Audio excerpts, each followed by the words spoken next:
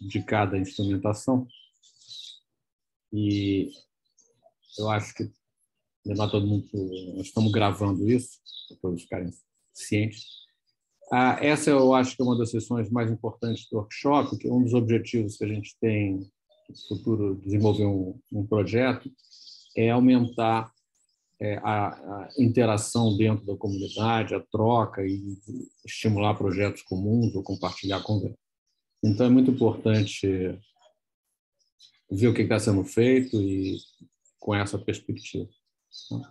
A sessão, essa sessão é um pouco longa, temos muito trabalho, que por um lado é muito bom.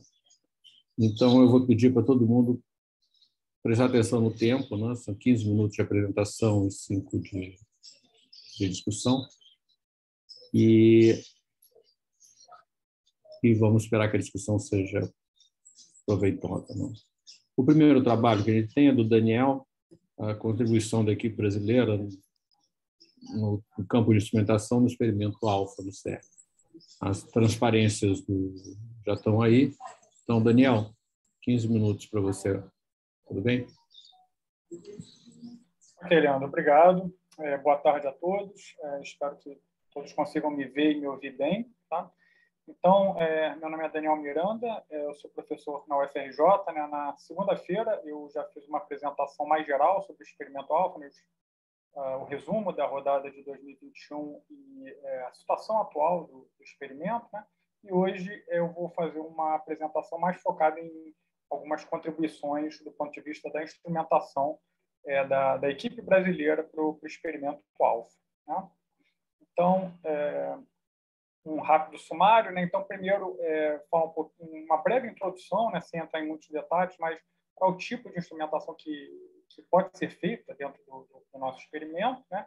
Em seguida, eu vou uh, detalhar um pouquinho uma das contribuições que a gente fez, que foi o projeto, a construção e a instalação de um sistema para introdução de microondas dentro do aparato alfa-G, né, do sistema alfa-G, e é, em seguida eu falo rapidamente sobre o, na verdade ainda não é uma contribuição nossa, mas é um interesse que a gente tem em magnetos supercondutores, né, tanto para experimentos aqui no Brasil quanto no CERN, e, bom, no final, algumas conclusões rápidas.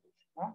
Então, é, eu já mostrei esse gráfico aqui na, na segunda-feira, né? então, é um, o nosso aparato experimental, ele basicamente ele é composto de dois, digamos, subsistemas que são praticamente independentes. Né? Então, aqui a gente tem o Alpha 2, que é um sistema horizontal, né? então ele é um sistema é, tá já 100% operacional, já, já, já opera, a gente já trabalha com ele há muito tempo, né? então ele possui acesso ótico, então a gente pode introduzir lasers, é, ele possui também um, um sistema para aplicação de microondas dentro da região do aprisionamento dos átomos de antihidrogênio, né? E ele é usado principalmente para fazer, para realizar medidas espectroscópicas, né? Tanto na, na, usando lasers, né? Na, na, região ótica do espectro, quanto microondas, né? Na outra região do espectro.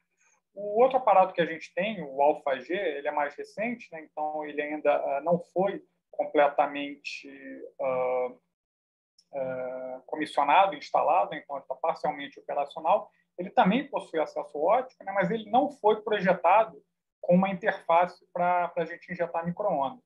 Né? E é, ele é previsto, né, o uso previsto para ele é, é realizar medidas principalmente gravitacionais, mas a gente também pode realizar algumas medidas espectroscópicas nesse, nesse aparato. Tá? Então, é, qual que é a motivação para a gente é, usar microondas no nosso experimento? Por que, é que a gente precisa de microondas? Né?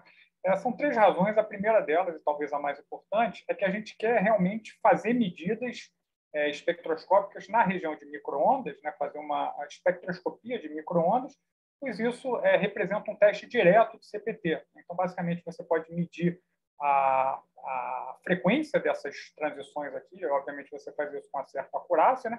e você vai comparar com essa mesma frequência medida para átomos de hidrogênio. Né? É, esse gráfico aqui é o gráfico de níveis de energia uh, do átomo de hidrogênio no estado fundamental em função do, do campo magnético. Né? E, é... lugar. E o que é importante uh, perceber aqui é que as microondas elas induzem transições de estados aprisionáveis, né, que uh, são esses que estão em vermelho aqui, os Slow Field Seekers, né? para estados não aprisionáveis, que são esses dois em azul aqui, que são os estados uh, High Field Seekers. Né? Então, basicamente, aplicando é, microondas né, na frequência correta, você pode é, de maneira ressonante é, ejetar é, átomos da armadilha, né? e aí eles vão se aniquilar na parede do, da armadilha e você pode detectar isso usando um detetor de vértice, um detetor de silício, um, um TPC. Né?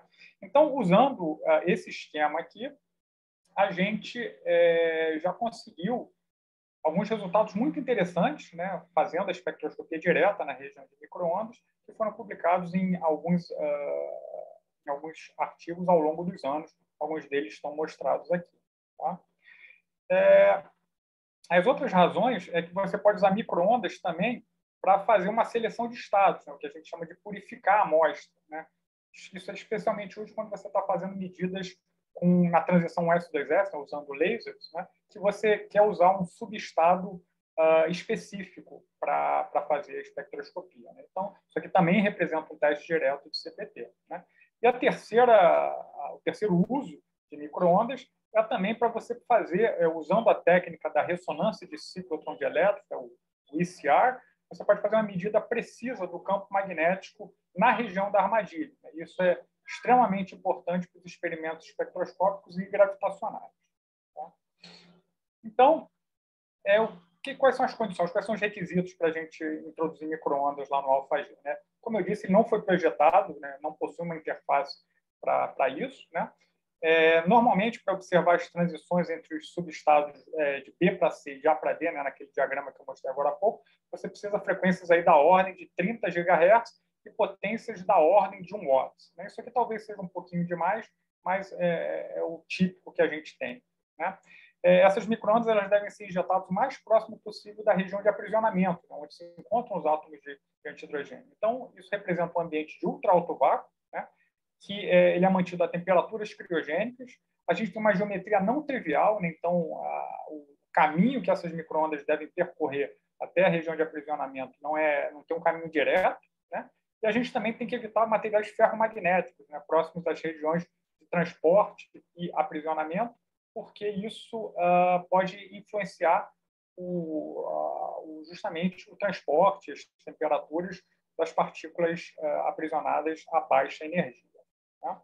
Então, é, bom, eu fiquei com esse, esse osso para roer aí, né? ganhei esse presente para trabalhar. E, bom, a primeira coisa, a gente tinha duas opções, injetar as microondas pela parte de cima, né, fazer injeção superior, ou pela parte de baixo do, uh, do aparato. Né?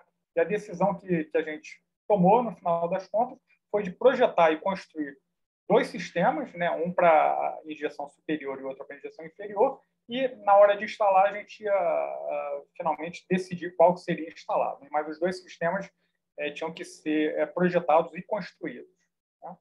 Então, um, primeira coisa, né, escolher como é que a gente vai é, introduzir, como é que a gente vai guiar essas microondas até lá. Então, o procedimento padrão é usar um, um cabo coaxial semi-rígido, né, mas ele não é, é muito apropriado para esse problema, né, porque ele não é compatível com o tal vácuo, né, tem Teflon como o, o dielétrico, é, ele tem uma, uma geometria meio apertada, então você pode ter bolsas de ar que ficam aprisionadas lá, e isso pode gerar vazamentos virtuais, e ele tem uma atenuação que é um pouco alta do que a gente quer.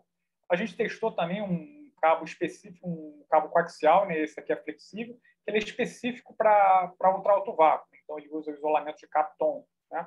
Só que a gente fez medidas das perdas, né, da atenuação desse cabo em diferentes temperaturas, né, e a gente viu que isso aqui também não era é, aceitável. Né? A opção, uh, uma outra opção seria usar um guia de onda rígida, né? Mas isso é pouco prático, né, justamente porque eu mencionei o caminho até a armadilha não é direto. Né? Então, é, você precisa de ter alguma flexibilidade. E essa flexibilidade você consegue exatamente quando você usa um guia de onda flexível. Né? Então, o que a gente escolheu, é você tem uma imagem dele aqui, né? é um guia de onda flexível de cobre berílio, né? que é um material apropriado, compatível com o trato vácuo e também compatível com temperaturas criogênicas, né? da empresa americana. A gente escolheu essa especificação aqui, né, isso aqui são as faixas de microondas que, que a gente tem. Então, ele consegue, ele é especificado para 18 a 26 GB, né? mas ele consegue uh, transportar 30 GB sem, sem maiores problemas. Então, tem noção aí de 1 dB por metro, a especificação do fabricante a 300 Kelvin. Como isso aqui trabalha é, num gradiente de temperatura, né? a resistividade uh, varia com a temperatura, então você tem aí, você pode ter uma atenuação um pouco diferente. Né? E a gente optou por ter múltiplas sessões né, com flanges individualizadas. Então, você tem aqui sessões do, uh, desse, uh, desse guia de flexível com flanges, né, e essas flanges a gente teve que desenhar cada uma delas individualmente uh, para se ajustar aos requisitos do, do aparato. Né? Então, a outra coisa que a gente teve que especificar são as janelas. Né? Então, você precisa de, de uma janela para você introduzir essas microondas né, do, do seu ambiente externo, né, a pressão atmosférica, a temperatura ambiente, para dentro do criostat. Então, elas têm que ser transparentes para essa frequência de 30 GB, né, têm que ser compatíveis com o ultra alto vácuo e capazes de suportar uma diferença de pressão de uma atmosfera e tem que ser, obviamente, compatível com as outras seções do, do nosso guia flexível. Né. Então, depois de algumas iterações com, com outros membros da, da, da equipe, né, que, que, auxiliaram nesse, nesse projeto, né, a gente chegou aqui num, em desenhos finais, né, e é, essas, uh, essas janelas elas foram construídas por uma empresa americana, né, a CPI, e elas foram instaladas. Então, aqui você vê uma delas, não está muito clara essa figura, mas você consegue ver uma dessas janelas de microondas instaladas na parte inferior do criostat. Né?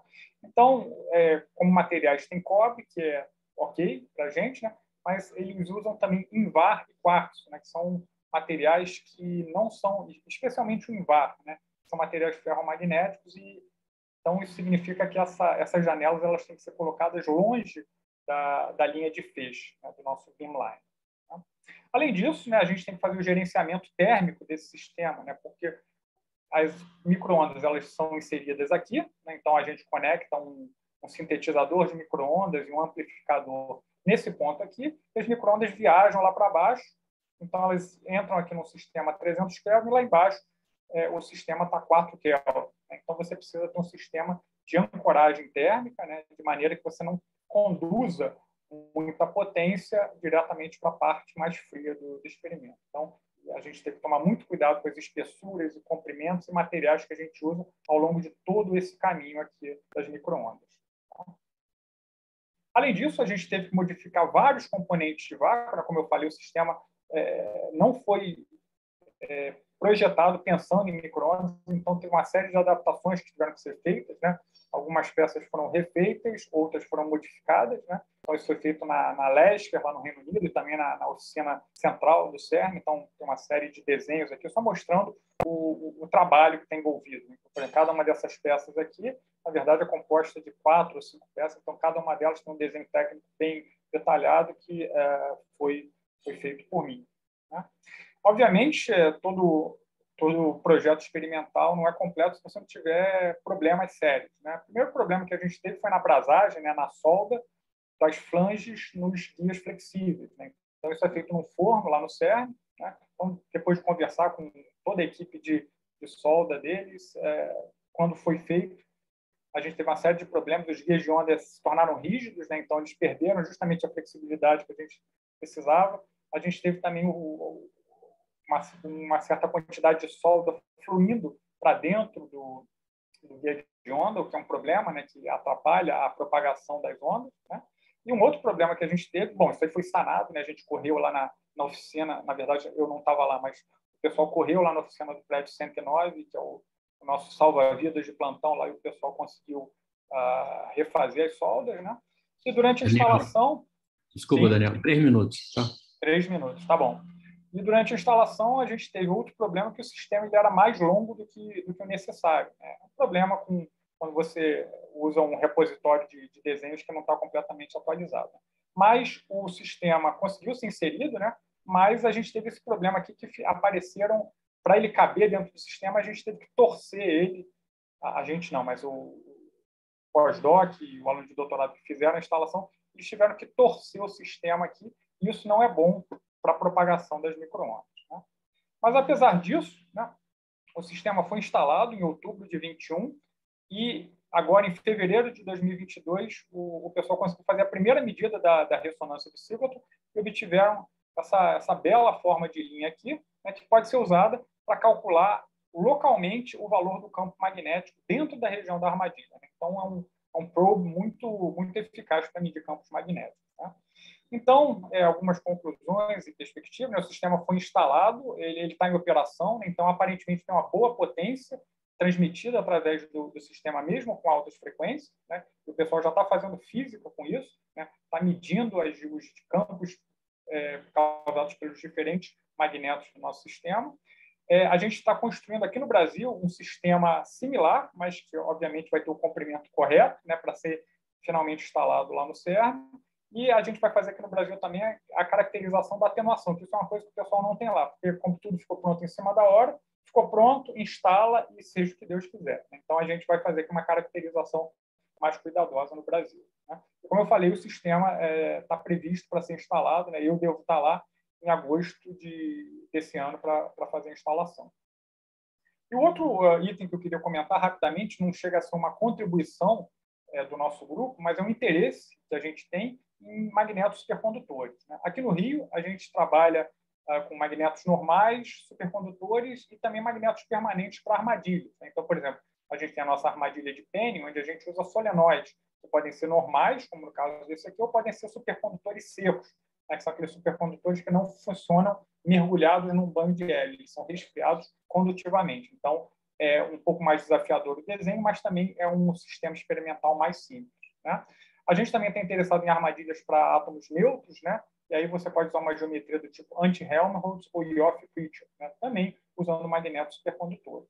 E no CERN, a gente é, tem um interesse particular no uso de um novo tipo de magneto, né, que é o magneto CCT, que é Canted Cosine Theta, é um, é um novo uh, conceito de, de magneto especificamente desenhado para aceleradores, mas que pode ser usado no nosso experimento também. Tá? Ah, então, terminando, né, já acabei aqui, Leandro, é, isso aqui é, são algumas outras contribuições do ponto de vista de instrumentação que eu não vou entrar em detalhes, mas fica aqui. Agradeço a todos e fico à disposição para quaisquer perguntas. Obrigado, Daniel. Acertar o cumprimento é difícil. É. É, perguntas para o Daniel, comentários? Ninguém se manifestou? É, Daniel, o, o, essa injeção superior ou inferior, hum. qual a conclusão vocês chegaram? a gente acabou instalando por baixo, né? Então foram construídos dois sistemas, mas a gente instalou por baixo porque a gente tem o projeto é ter uma armadilha de penny embaixo e outra em cima para você poder fazer medidas de gravidade acima e abaixo, né? em duas regiões, alturas diferentes. Então, como a armadilha superior não foi instalada, então a, as microondas elas estão entrando por baixo no momento. Ah, tá. Então não tinha sentido de cima. Isso. Fazia sentido instalar a parte de cima. Se não, não, ok. Tá, tá bom. Bom, não tendo pergunta, obrigado, Daniel. Pedi para você fazer okay. o load lá depois. Sim, sim. E eu vou chamar agora o Marcelo. Oi, indo. Ok. Você pode vai falar sobre a instrumentação do CTA? contribuição brasileira no, no CTA, que eu entendi bem. Vocês estão, estão vendo a minha tela? Estou vendo a tela, mas ainda não a apresentação. A apresentação ainda não, tá. Agora, imagino que sim. Isso, agora está bom. É, enquanto eu estava por dois, dois momentos aí, eu, eu, o Zoom fechou e eu acabei saindo dele e depois eu voltei, tá? Em todo caso, eu deixei meu laptop aqui preparado é, não sei se é a minha rede aqui, né? Alguma coisa desse tipo. Mas, Por tá, enquanto, a imagem está boa. E não ocorre durante a minha apresentação. É... Tá bom, então, Marcelo, são 15 minutos, tá? Eu aviso três minutos antes do fim. Legal, obrigado, Leandro. É, boa tarde a todos, né? Espero que estejam todos bem. É um prazer estar aqui, é, podendo falar aqui na, na Renafai, né? Vendo os trabalhos dos, dos, outros grupos, né? E a oportunidade aí da gente estar dizendo um pouco também, né? Do, das nossas contribuições aí dentro das, das, das, colaborações de física de altas energias.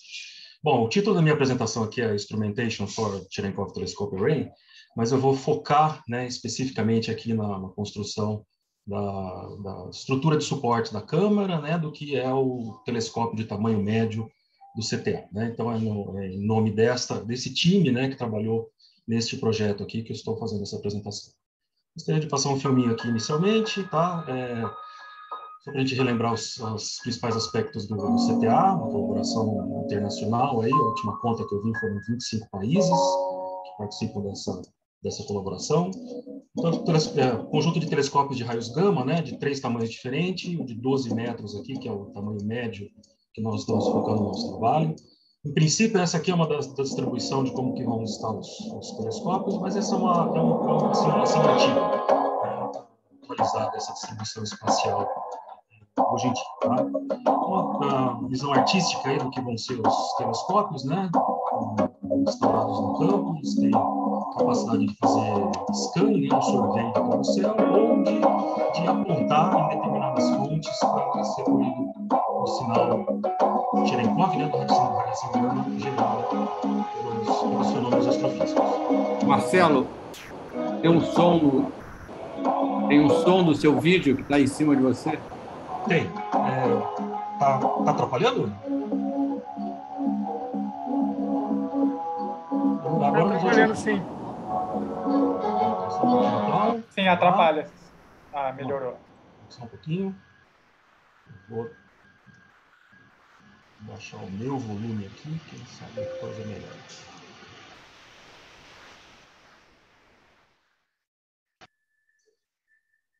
Vocês estão me ouvindo? Sim, estou ouvindo tá. bem. Então, agora acho que vocês não vão ouvir mais o som, tá? Continuar mais ou menos enquanto eu estava.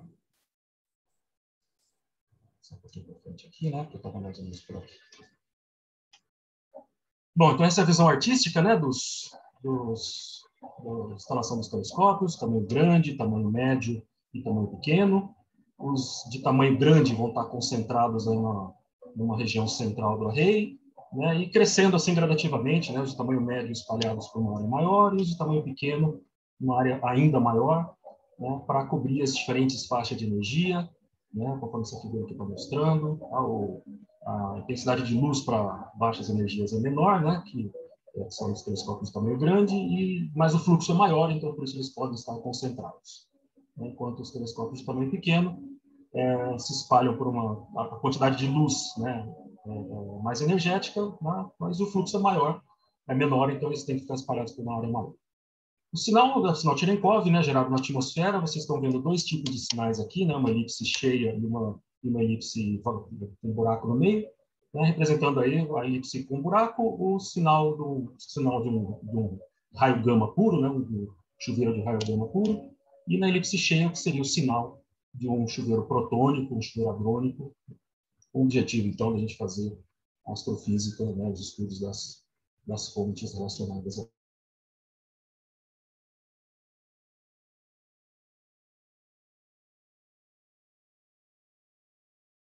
relacionadas a é só para a gente ter uma lista aqui, fazer um, é, é, é resumos, né, os surveys aí de, dos raios gamas da galáxia, ou extragaláctica, é, explorar fontes de, de, de aceleração extrema de partículas, provar dark matter, os estudos de galáxias ativas, conexão com raios cósmicos, observações de clusters de, de galáxias, a grande nuvem de Magalhães, a região de Cygnus, né, a, sinais de galácticos aí de, de dark matter e, e, e, fenômenos transientes. Eu vou deixar um link aqui, tá? É o mesmo livro que o Victor citou, o livro que trata toda a ciência aqui do, do CTA, também aspectos técnicos, né, estão, detalhados dentro dele. Aí vocês podem ver um pouco, um pouco mais em detalhes aí essas, essas questões. Ah, o nosso ramo brasileiro aí da, da, colaboração cresceu bastante aí nos últimos anos, né? Então aqui está mais ou menos aí todas as, as, as, instituições participantes.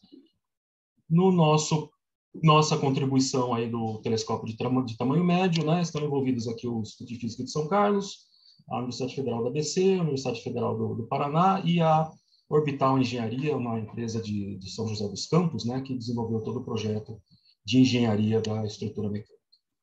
Então, nosso objetivo, então, né, na construção de um, de um telescópio, essas aqui são as, as diferentes partes do, do, do, telescópio de tamanho médio, e nós estamos justamente interessados na, no que a gente, chama, a gente chama de Camera Support Structure, né, ou CSS, a estrutura de suporte da câmera, né, que, que segura a câmera né, no prato principal do disco do telescópio, a câmera de, de fotomultiplicadores que é posicionada lá no, no, no foco desse espelho.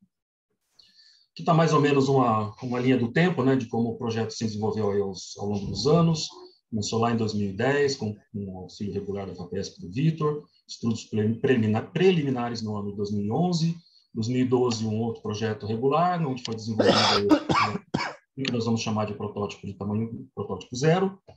Desenvolvimento e aprovação no ano 2013, construção e instalação desse protótipo no ano 2014, a sua aprovação em 2015, com sugestões de melhorias, vou mostrar um pouquinho mais sobre isso. 2016, um auxílio temático, né, com desenho e melhoria de outros outros dois protótipos né, da, da, estrutura da câmera. Uma versão melhorada em 2017, aí, que a gente vai chamar então agora de protótipo 1. Entre 2018 e 2020 é, foram tomados dados de calibração e testes da, da estrutura. Em 2022 nós temos a aprovação é, de nove estruturas no projeto temático junto à FAPESP e mais uma estrutura da Fundação Araucária é, capitaneada aí pela professora Rita, né, da Universidade Federal do, do, do Paraná. É, esperamos tomar dados preliminares no ano 2025 e início de tomada de dados científicos em 2027. Então, o projeto, também não vou entrar em muitos detalhes aqui, é só para ter uma ideia de algumas, de algumas questões. Né? Então, ele é um, ele é um telescópio né, que é de ótica que a gente chama Davis Cotton modificada, basicamente, né? Então, as facetas desses espelhos, elas não não têm o foco exatamente em cima da, da, da câmera de fotomultiplicadoras, mas é a, o foco dos espelhos é, é, mais à frente, né? 19 metros, enquanto que essa estrutura aqui, né, tem um, tem um foco, né, a posição da câmera em 16 metros. Então, esse é mais ou menos aqui o, o tamanho da imagem que a gente espera, né, no, da, da função de, de, espalhamento pontual, de menor do que 1 miliradianos, ah, com abertura de 8 graus. Tá? Então, outro ponto que eu vou chamar a atenção aqui é essa, essa massa aqui, né, o peso da câmera, de 2,5 toneladas, né, a ser contida aqui pela estrutura, né, pelo suporte do telescópio. Essas foram as diferentes concepções né, que foram pensadas, eu só deixei algumas aqui bem pequenininha, porque no final das contas elas foram descartadas. Eh, a concepção número um, que foi realmente escolhida e, e analisada posteriormente, né? então baseando, baseando-se aqui né, nos, nos, nos, estudos de vibrações, né, elementos finitos dessas, dessa estrutura toda, foi possível medir as frequências de vibração, né, a amplitude de, de vibração é, da câmera, né, então, esses aqui são os requisitos, né, tinha, essa frequência tinha que ser maior que 3 Hz, e o, e o quanto que chacoalha aqui a câmera, né, digamos, menor do que 3 milímetros, tá, a amplitude de vibração aqui e com sombra menor do que 8%, a estrutura, né, fazendo sombra sobre os espelhos, menor do que 8% da, da área útil aqui. Então, com base aí nos resultados, né, a concepção 1 que foi escolhida e analisada posteriormente. Aqui estão algumas figuras também dos, dos, das análises que foram feitas, né, mais detalhadas.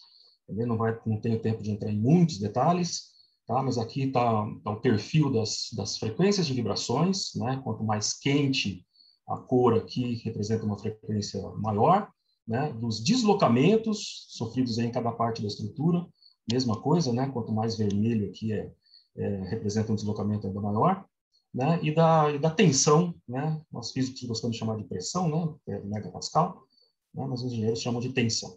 Ah, em cada parte da estrutura, né? também conseguindo o mesmo esquema de cores aqui. Foram vários casos estudados, tá? Estou mostrando aqui somente algumas figuras, mas né, nós temos esses estudos todos detalhados aí, né? Se alguém tiver interesse, a gente pode, pode fornecer. Aqui também está o resultado de um desses estudos, né? Então, supõe aí o, o telescópio na posição horizontal, ah, com uma, uma, uma, carga de vento de 50 km por hora, uma carga de gelo, né? então possivelmente pode cair neve aqui na câmera, né? e fazer uma, uma, uma, uma pressão de cima para baixo, né? E com o vento aqui na direção X, tá? Normalmente a gente alinha o eixo Z longitudinal da estrutura, né? E o eixo X e Y são os, os perpendiculares, tá? Então, estão aqui os resultados que foram obtidos o deslocamento da, da, a, da câmera, da, da, estrutura como um todo, né, os, os estresses, as pressões né, em cada parte, né, um fator de, de, de, deformação, basicamente, né, esse buckling factor, né, e um coeficiente de segurança, né, todos eles aqui dentro das especificações, né, e, a, e esse, design, esse desenho da concepção número um passou em todos os nossos testes.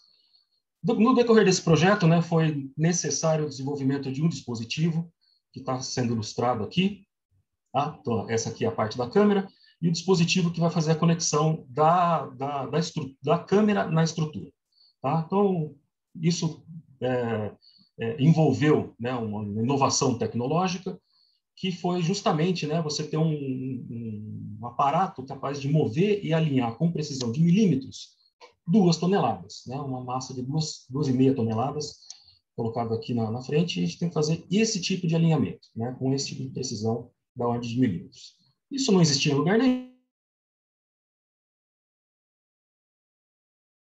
né? então foi requisitada em 2019, envolvendo então essas três instituições, né? o Instituto Física de São Carlos, Federal da ABC e a empresa, né, a Orbital Engenharia e as nossas duas é, agências de inovação, da USP e da, e da UFABC.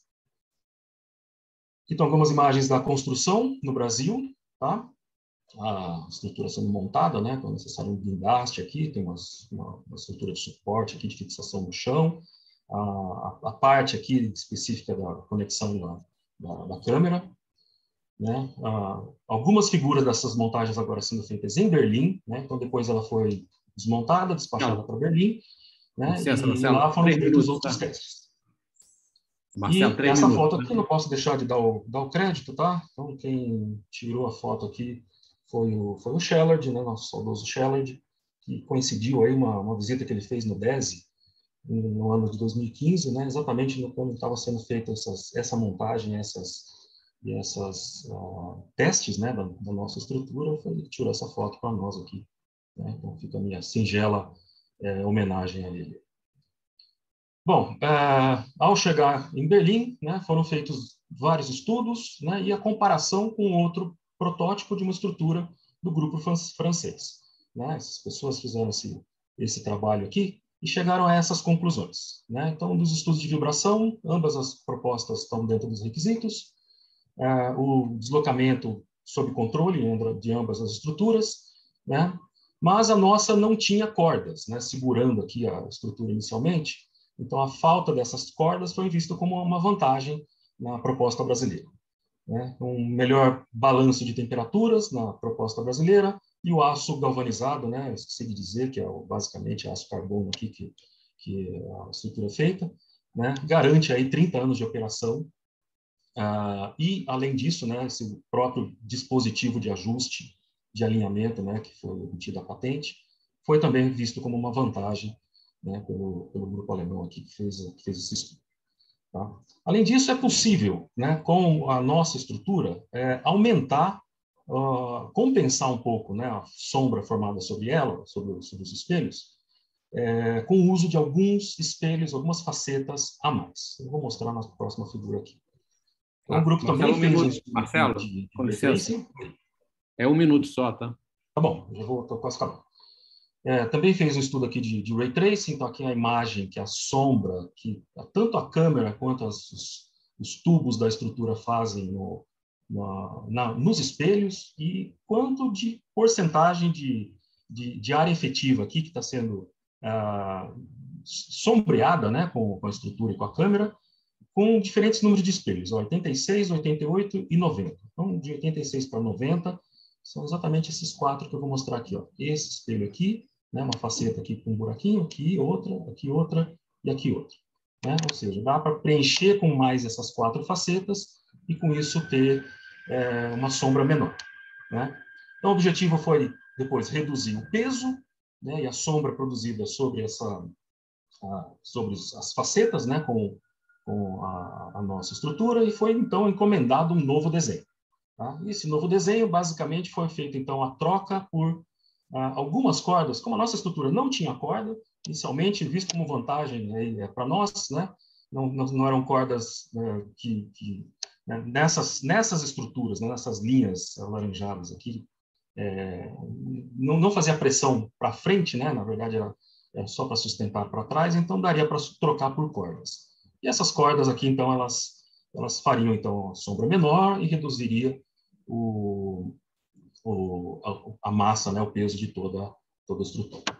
Então, como conclusão, o, temos aí um projeto né, e construção no Brasil, os protótipos 0 e 1 um foram aprovados, as melhorias foram implementadas né, no, no, no protótipo 1.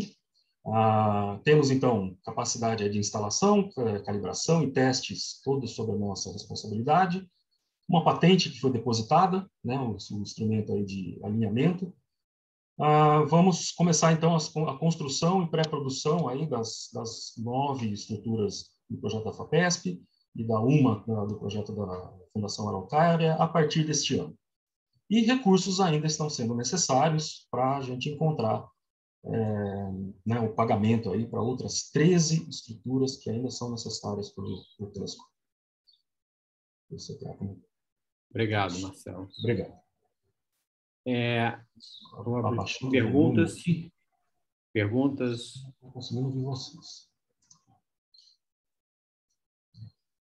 Enquanto não tem ninguém, tem uma Queria saber uma coisa, Marcelo. Você podia contar um pouco como, é, como foi essa interação com a empresa? Ou seja, o que, que é o, a empresa, qual é a responsabilidade da empresa, qual da universidade, como foi essa a divisão Sim. de tarefa, o trabalho? É, bom, eu, eu, participei de praticamente todas as reuniões, né, junto com, com o Vitor nessa nessa nessa ocasião.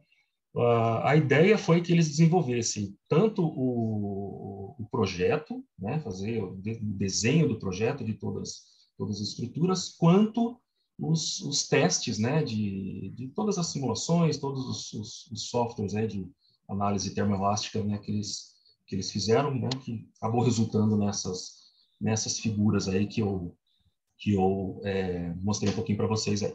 Né? Então, assim, a, a a, nossa função era pensar o problema, né, apresentar para eles aí os nossos requisitos e o que, que a gente precisava para essas estruturas do, do CTA, né, e eles fazerem o projeto de engenharia. Né. Acho que outra coisa importante aí de eu ressaltar é que o Vitor fez questão de deter todos os detalhes do projeto. Né? Então, cada parafuso, cada desenho, todas as, todas as, as especificações, né? o, memorial descritivo, né? tudo, absolutamente tudo, ele tem na mão dele. Né? O que dá a possibilidade também né, de, eventualmente, nessas próximas construções, é, não necessariamente ficar preso à, à mesma empresa. Né? Então, ele está fazendo né, prospecções, aí, inclusive, para contratar outras firmas. Mas, basicamente, foi isso. Né? Uma firma de engenharia que desenvolveu é, o projeto. Ou seja, vocês discutiram, colocaram o problema, eles realizaram na prática e Exatamente. Supervisão. Exatamente. É. E os testes lá na Alemanha, eles foram fazer ou vocês foram? Não entendi. Os testes na Alemanha, eles estavam presentes fazendo lá? Afirmam? Hum. Ou foram vocês que testaram? Uma pergunta. Eu acho que não. Acho que o Vitor pode responder. Não sei se o Vitor está aí. É... Eles fizeram certamente os testes em São José dos Campos. Né? Eu não tenho certeza, Leandro. Eu não, não sei te dizer se se foi alguma equipe junto com eles lá para participar dos testes, né? Marcelo está na Marcelo está com a mão levantada. Marcelo? É, Marcelo, uma perguntinha rápida. É, a empresa precisou desenvolver algum know-how para desenvolver esse projeto? Ou eles, digamos, que eles já sabiam, digamos, já, já era suficiente? Basicamente, eles, eles, eles já sabiam, né? eles tinham, detinham aí os, os especialmente os softwares né? de, de projeto, de, de testes eles detinham, né? E tinha uma equipe de, de engenharia, né? Cada um responsável por uma por uma uma parte do projeto. Né? Mas tem a, a, a, o posicionamento teve que ter sido é, desenvolvido. Eu diria mesmo que é a única coisa, né? A patente. É, a patente, o posicionamento o posicionamento teve que ser desenvolvido. Né? Teve que ser desenvolvido, exatamente. Esse dispositivo foi né? Uma novidade, né? Então, foi realmente uma inovação tecnológica. Ok. Mais perguntas? Se não, obrigado, Marcelo Legui. É, tem dois Marcelos, é bom ficar claro qual que... Obrigado, Marcelo. Então, vou chamar agora a próxima apresentação, é o Fábio Marujo, que vai falar do slow control das RPC do CNS. Na... Você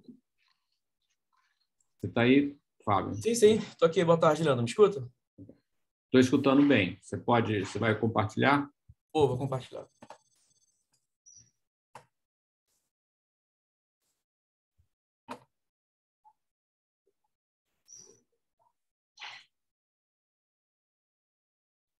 É, consegue ver a tela? Oh, ok, está ótimo, estou vendo bem. É, então, 15 minutos tá, de apresentação, mais cinco perguntas. Pode ir, mano. Fábio. Boa tarde, Leandro. Boa tarde a todos. É, eu vim aqui apresentar para você aqui, fazer um overview aqui do Slow Controller, do sistema do RPC Link, do novo RPC Link, que está sendo feito update lá no, no sistema de Moon. É, vou falar um pouco sobre o sistema de Moon, né, é, para ter mais ou menos sistema de acho que muita gente já deve saber, é sempre bom dar uma repassada. É, falar sobre o antigo link, o antigo sistema de link, falar, mostrar o novo sistema, é, dizer o que é, que é o Slow Controller, na verdade, onde é que ele, onde é que ele atua, o que é que ele é dentro desse sistema, o hardware envolvido dentro do Slow Controller e algumas, é, algumas informações preliminares esperadas aí sobre esse desenvolvimento. O sistema de Moons, né, como todo mundo já deve ter ouvido falar, está é, tá acontecendo um, um, grande upgrade, pelo menos no sistema, na parte do sistema do, do, do RPC, o sistema de Moon, que em si está é, tá sendo desenvolvido um novo hardware, não só das front-end e, e back-end das RPCs, assim como um novo link board, que é o sistema de comunicação que, que faz a transferência de dados das front-end para os outros sistemas, né? Então, esse novo hardware ele é baseado numa control board e numa link board. São duas placas que é, é, ele está inserido aqui dentro, dentro do sistema de Moons, ele está lá na RPC Link Board, tá? dentro do, do, sistema de RPC.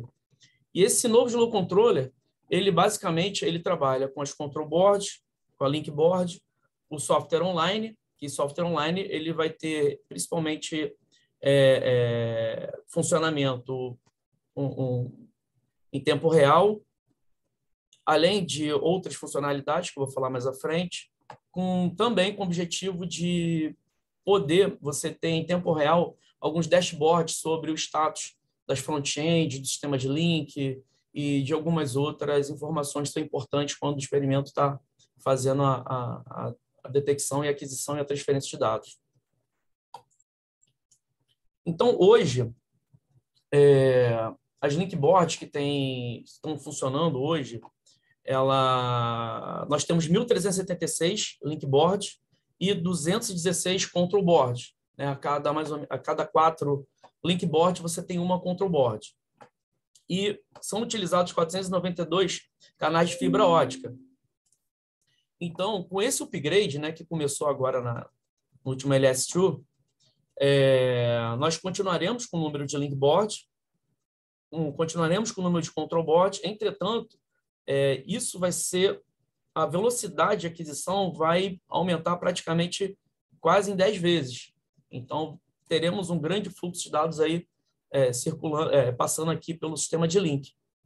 E, obviamente, o Slow Controller ele precisa ser diferenciado agora, porque antes que você tinha algo só em hardware, que era algo muito, digamos assim, engessado, é, vai ter todo um sistema é, via, digamos, de hardware, firmware e software para poder fazer um monitoramento e controle de todo esse sistema é, de comunicação de dados.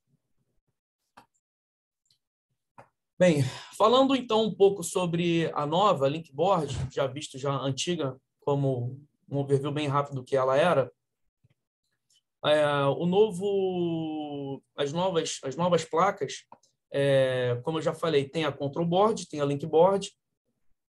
As link boards são responsáveis por mandar todos os dados dos hits uma velocidade de 10.24 GHz. E o slow control, ele, ele vai estar trabalhando aqui dentro dessa faixa de velocidade. Ele é baseado numa FPGA, numa XC 7K160, é da família da Kintex 7, das Alex.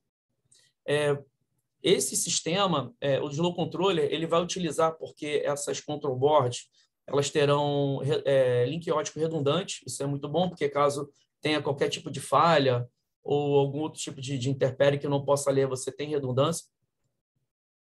É, outra funcionalidade que é bem interessante é, você é, vai ser possível você fazer uma, uma programação remota de, das front-end e até de algumas configurações também da, da, da, da, da control board, da link board.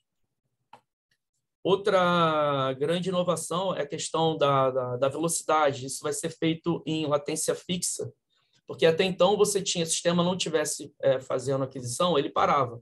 Então você tinha um dead time muito alto entre você voltar a fazer aquisição. Esse sistema não, esse sistema ele vai ficar constantemente com uma latência fixa. É, a questão do dead time praticamente vai ficar bem pequena. Então você consegue fazer é, uma, uma é, é, é maior fluxo de dados.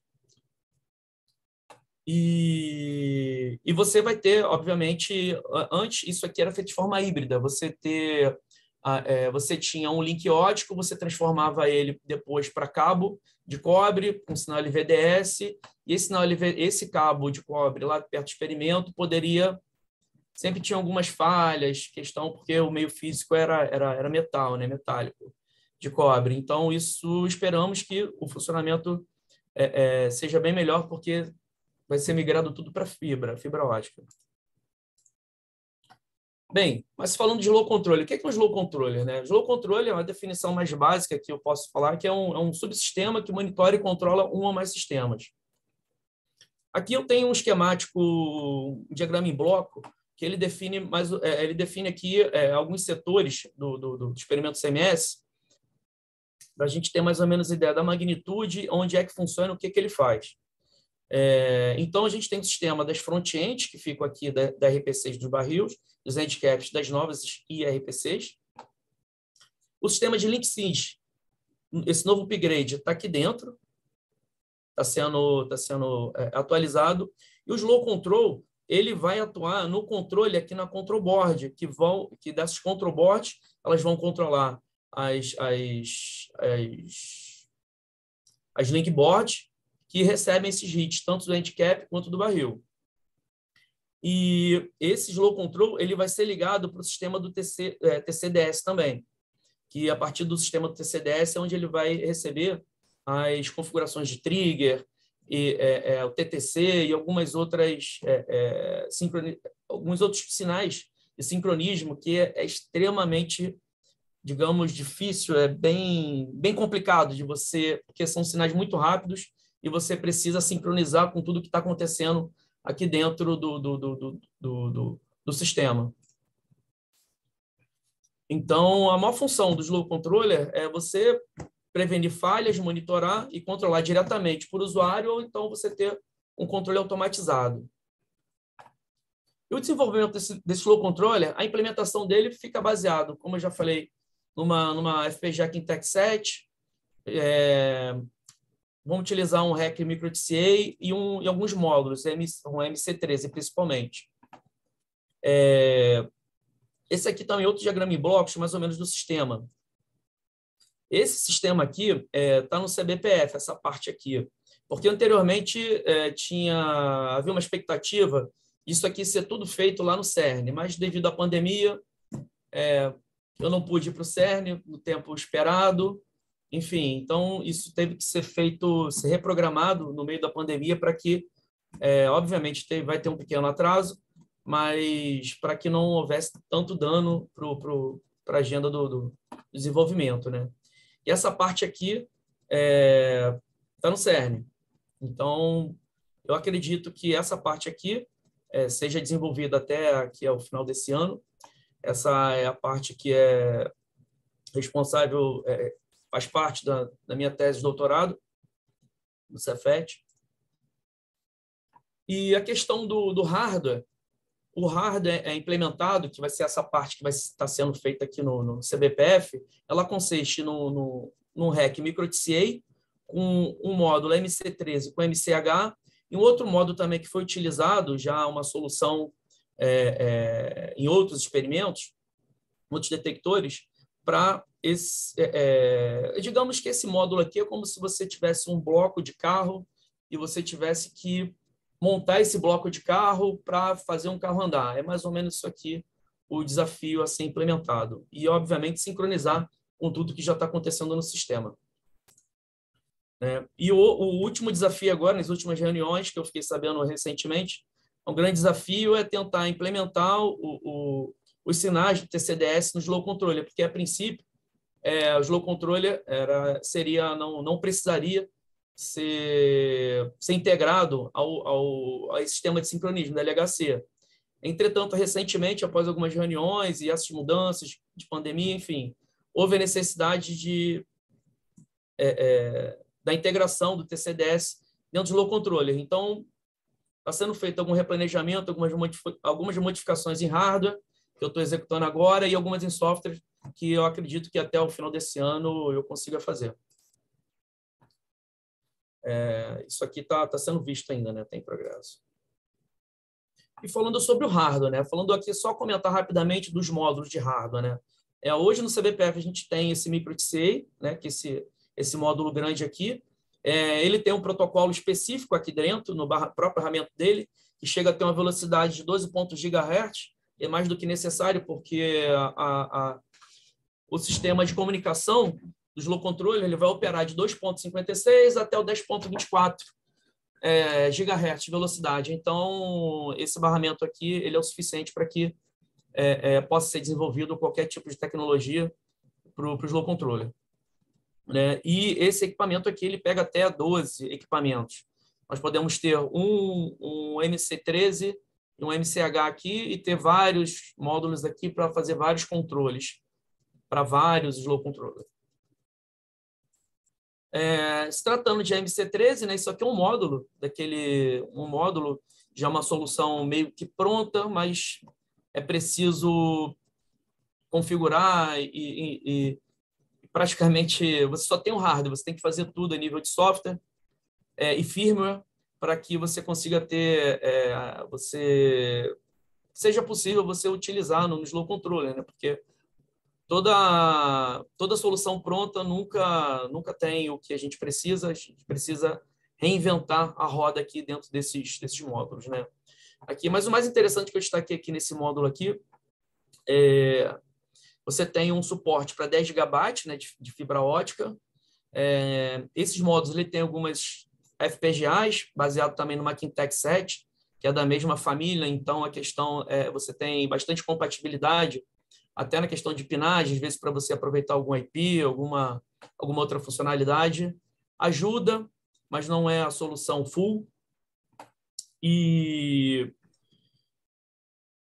nesse mesmo módulo você tem atrelado aqui um MCH, uma Ethernet, porque esse módulo aqui é, ele tem a capacidade de você conseguir fazer, é, é, você é, via rede, você consegue fazer comandos de read e write é, em cima do protocolo que ele tem específico dele. Isso é uma, uma grande vantagem dentro de todo esse sistema. Ô, Fábio, dois minutos, tá? Sim, está acabando. E falando sobre o módulo HTR, é outro módulo também, que na verdade é outro módulo que tem todas as, é, todos as, é, é, é os requisitos básicos para que esse projeto seja desenvolvido. Esse é, no momento, nós temos, foi comprado recentemente um, um módulo, um kit evaluation para que seja substituído, né? Estou é, substituindo em lugar da, da, da, que essa placa ainda não está pronta ainda. É o time do Bezar que está fazendo, está desenvolvendo lá, na, lá no Irã. Então, essa aqui é, é um setup que eu almejo fazer pelo menos até o final do ano. Tenha já algum resultado, alguns dados que eu possa já, já já ter aí como, como base, né, para defesa do doutorado, né, fazer alguns testes individuais, conectividade, integração de hardware. É, o final, o setup final almejado, funcionando lá no CERN, seja esse aqui. Esse aqui vai ser a parte que nós vamos tentar fazer, implementar aqui no CBPF, depois integrar lá com o, o, o hardware já existente no, no, lá no CMS. Essa aqui é a solução do CBPF, essa aqui é a solução do CERN, só para a gente ter mais ou menos ideia como o que está onde, né? Essa aqui, essa solução final aqui está, o schedule é para 2026. E alguns resultados esperados, né? Do slow controller é, para o back-end e, obviamente, ele tendo monitorando e, e, e fazendo algum controle né, é, dessas configurações aqui via RPC online, o software. É, algumas configurações vão poder ser feitas via, é, é, é, é como eu já falei anteriormente, via software online, CMS. E essas configurações também vai, serão implementadas é, todas esses, é, é, é, essas configurações aqui, mas essas configurações aqui, é, o objetivo maior é de você conseguir fazer alguns dashboards algumas informações são importantes, porque se você tiver acesso a essas informações aqui, você consegue reconfigurar ou mudar o setup ou mexer em algum parâmetro e assim você consegue dar mais qualidade na aquisição de dados e, e você consegue ter é, um, se você tem mais qualidade, você consegue fazer mais aquisição de dados. Você não precisa ficar toda hora o sistema voltando, recuperando para poder fazer aquisição. Então, é mais ou menos isso aí. Pronto, Leandro. Obrigado, Fábio. Então, pergun perguntas? Marcelo Vinhões. Fábio, uma. Não sei se eu entendi direito, mas o trabalho que vocês desenvolveram, então, foi é, é, o firmware daquele FPGA que está no, no novo Slow Control, é isso? Naquela, Também, Marcelo. Na verdade, eu estou fazendo uma solução mista, porque esses módulos, alguns, é, estou trabalhando com firmware default, mas alguns eu vou ter que mudar, principalmente essa questão do TCDS, porque é como eu te falei, a solução pronta nunca tem o que a gente precisa porque a gente está querendo desenvolver.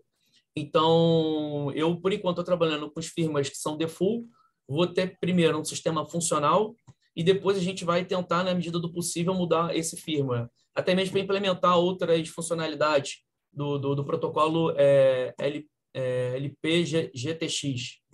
Tá. Pra, mas é mais ou menos a, é isso aí a, a solução, da, vai ser a solução mista de hardware, software e firmware. Tá. Mas essencialmente vocês estão mexendo na programação dessas placas. É sim, sim.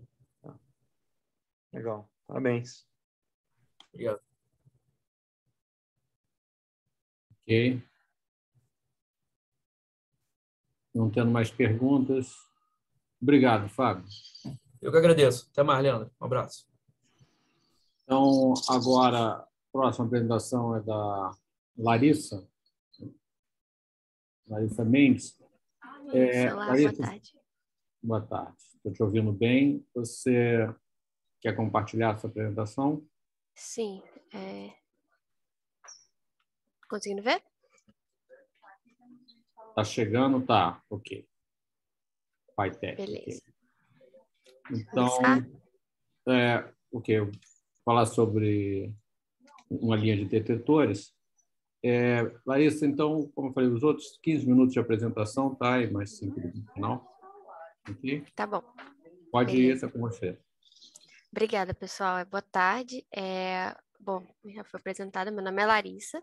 Eu trabalho numa empresa chamada Pitec e hoje eu vim é, falar um pouco sobre uma iniciativa brasileira de desenvolvimento de detectores de raio-x de grande área. É, que foi, foram feitos para as aplicações dos Sirius. É, e o José Roque ele já deu uma, uma introdução mais cedo, é, mas eu queria dar um pouco mais de, de contexto no assunto, é, apresentando um pouco mais de detalhes do nosso grupo. A gente fica em Campinas, é, nós somos de um grupo de empresas chamado Grupo IDEA. Então, são três empresas: a, a IDEA, que é a empresa principal, é, a BR Photonics e a Aptec, que é a, a, a empresa que eu trabalho. E a, a IDEA é uma empresa que, que ela foca na pesquisa no desenvolvimento de microeletrônica e dispositivos de fotônica. A BR Fotônica ela vai trabalhar na produção desses, desses dispositivos. Esses, esses dispositivos podem ser transceivers ou lasers, por exemplo. E a Aptec, que foi é, criada justamente para a parte de desenvolvimento de sistemas de instrumentação científica e também de sistemas de imagens, que aí entram os detectores de raio-x. Então, a, a, empresa surgiu lá em 2017, a partir da ideia de criar um detector é, nacional é, para as linhas de luz do Sirius, é, isso em sincronia com a missão do projeto Sirius de ter o máximo possível de conhecimento imaterial é, produzido em território nacional. Então, a gente começou bem tímido, é, eram menos de 10 funcionários na equipe, e hoje, é, só, na, só na Pitec, é, a gente tem aproximadamente um pouco mais de 30 funcionários, de, fazendo desde a parte administrativa, software, hardware, mecânica e até a parte de pesquisa. Então, aqui na foto tem parte da da equipe é, de, desenvolvimento, de, desenvolvimento de detectores, é uma equipe bem jovem, e o nosso prédio ele fica é, dentro da Unicamp, e a gente está bem pertinho é, do Sirius, e a gente trabalha diretamente em parceria com o grupo de detectores é, do Sirius, o DET, que eles recebem os detectores e comissionam todos esses, todos eles para as linhas de luz. Então aqui está uma versão explodida do projeto, é, aqui na frente, a gente tem o que a gente chama de cabeça ótica, que é onde ficam é, os sensores de raio-x. É, tem uma placa flexível que ela vai transferir é, os dados do, do ASIC, do sensor e do ASIC, é, de diferentes fatias do detector para é, três placas é, baseadas em FPGA, e depois tem uma quarta placa que vai agregar todos esses dados e transmitir para um servidor remoto é, com link ótico de 100 é, gigabits por segundo. É, e to, to, a, toda a mecânica ela foi, ela foi desenvolvida para ser é, modular, é feito pela gente, e também o sistema embarcado e hardware também foi feito para ser reconfigurável e modular, também foi desenvolvido pela nossa equipe. É, uma, das, uma das partes que a gente é, não é, produz são, é, que é a tecnologia do, do, do chip e do sensor, que a gente utiliza a, a tecnologia de pixel híbrido para fazer detectores photocount, e o ASIC que a gente usa é o ASIC produzido pelo CERN, que é da família MedPix, é o MedPix 3RX, e que ele vai ser, ele vai ter lá uma matriz de 256 por 256 é, pixels, com pixels tamanho de 55 microns, e esse ASIC ele é acoplado a, a, a, um sensor que pode ser de diferentes materiais, como por exemplo teloreto de cádmio para altas energias ou silício. E no caso do silício, por exemplo, a, em parceria com, com a empresa que faz esse acoplamento lá na Finlândia, a gente fez um, um projeto para montar uma que a gente chama de módulo Hexa, que são seis ASICs acoplados a um bloco é, de sensor, de maneira que a gente tem uma, uma, uma área máxima de detecção sem gaps na, na imagem. E aí esse, o, os módulos chegam assim para a gente, então, a gente faz todo o resto das conexões, como wire bonding, acopla na mecânica e no hardware em questão. E a partir daí, a gente começa a brincar com as geometrias do detector. Então, por exemplo, se a gente pegar um desses módulos e colocar é, seis empilhados, a gente tem o detector que a gente chama de PyMega 135. Então, aqui vão ser é, 36 é, ASICs MagicPix é, montados. E se a gente pegar esse módulo e colocar é, quatro deles montados em 2x2, a gente tem o que a gente chama de PyMega 540, que no total vai ter 144 MedPix.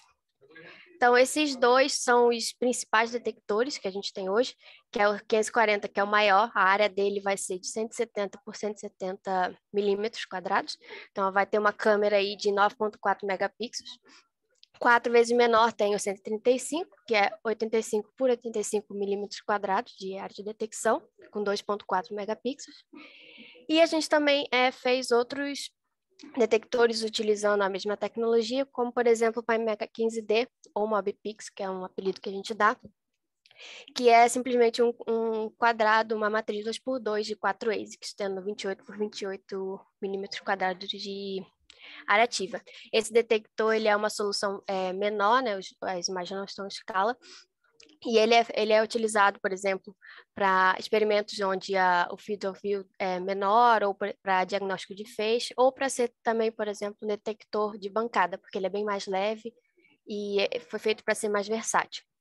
E outra solução também é, para as linhas de difração de pó é o PyMega 450D, que ele tem essa, essa geometria arqueada, que é uma linha de 120 é, megapixels.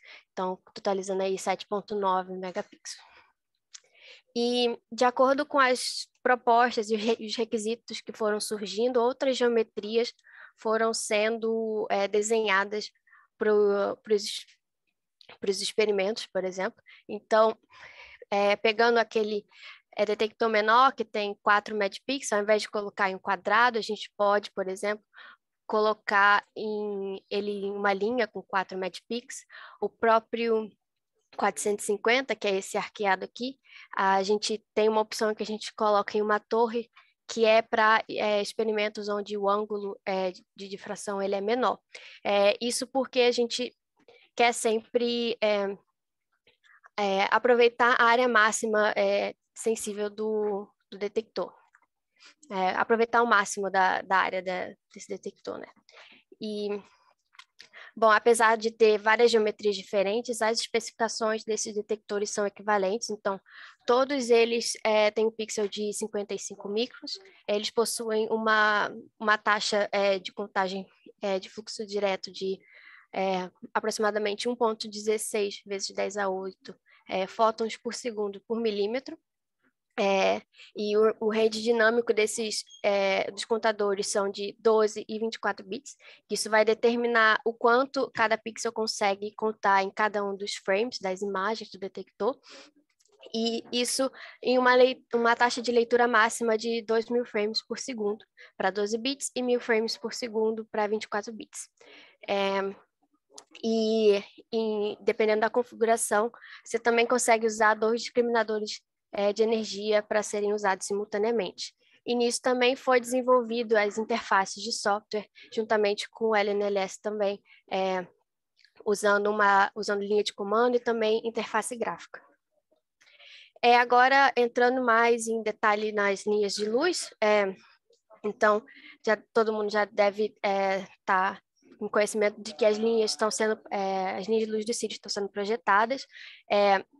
Algumas já estão, já estão em, em, na fase de comissionamento e algumas já estão até recebendo os, os primeiros usuários de comissionamento. É, até hoje, nós já entregamos 10 detectores para as linhas de luz, é, de diferentes técnicas, é, no caso, são essas linhas aqui que estão em vermelho. É, e Aqui tem algumas fotos, por exemplo. A gente tem aqui um Pai Mega 540, que ele é o, maior, é, que ele fica em um braço lá na linha EMA, que é a linha de condições extremas. É, nós temos também é, um Pai Mega 135 e o 15D, que é aquele menorzinho, na Carnaúba, que é a maior linha dos Sirius que o José Roque é, mencionou mais cedo. E também tem um Mega 540 na Cateretê. Esse aqui ele fica dentro de um túnel de vácuo de 28 metros. É, e eu vou mostrar daqui a pouco alguns resultados que a gente obteve com esse detector. Aqui está só é, também dois que estão sendo montados agora, eles ainda não foram entregues para linhas, mas a gente tem o 450, que é aquele arqueado para a linha de difração de pó, que é a paineira, e também tem um é, que é o da torre, o 450S, que é, vai ser entregue para a EMA em breve. Então, é, agora, voltando lá na KTRT, que é um, é um caso exemplo que a gente pode mostrar, que foi o primeiro detector entregue, a, a KTRT ela é uma, uma linha que ela é dedicada para experimentos é, de espalhamentos coerentes e também experimentos resolvidos no tempo. É, ela opera na faixa de é, 4 a 24 keV, então é, lá eles usam um sensor de silício. É, a então, a estação experimental ela vai ser seguida por um túnel de vácuo, esse túnel ele tem 28 metros e dentro dele fica um trilho, onde fica o detector, que ele pode ser mudado de posição dependendo da, da geometria do experimento. E durante o comissionamento, eles fizeram algumas medidas. A, a primeira medida que eles conduziram é uma medida da, de uma amostra de Siemens Star, utilizando a técnica de, a técnica de tacografia, que é uma das técnicas que eles, que eles é, fazem na, na linha. É, Tagografia é uma versão é, de técnica de imagem de, de fração coerente. E a, fazer a imagem da Siemens Star é um, é um procedimento padrão quando você está comissionando esse tipo de, de linha. E aí, é, o que eles fizeram? Eles colocaram a, a amostra, o feixe passa por aqui, é, o, o, o beam scatter, ele passa por um, por, uma, por um pinhole e logo depois tem a, a, a câmera de vácuo, e a, onde são detectados vários padrões de difração com o detector. Então, essa aqui é a imagem é, obtida com o nosso detector, que é o maior que a gente tem.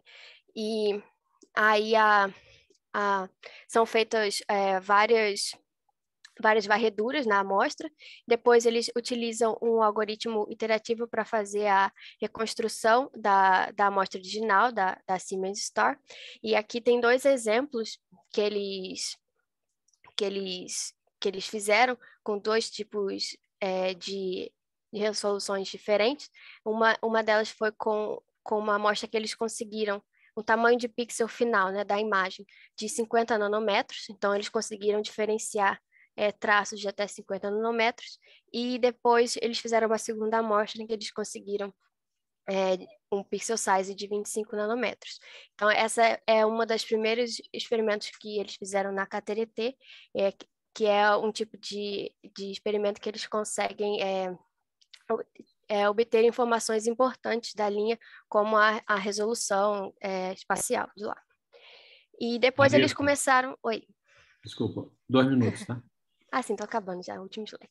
É, e, e depois eles fizeram é, uma... começaram a utilizar amostras reais, né? Então, é, esse aqui é, foi uma... Eles começaram a explorar algumas membranas é, poliméricas porosas, é, tridimensionais, então, também com a técnica de taigografia.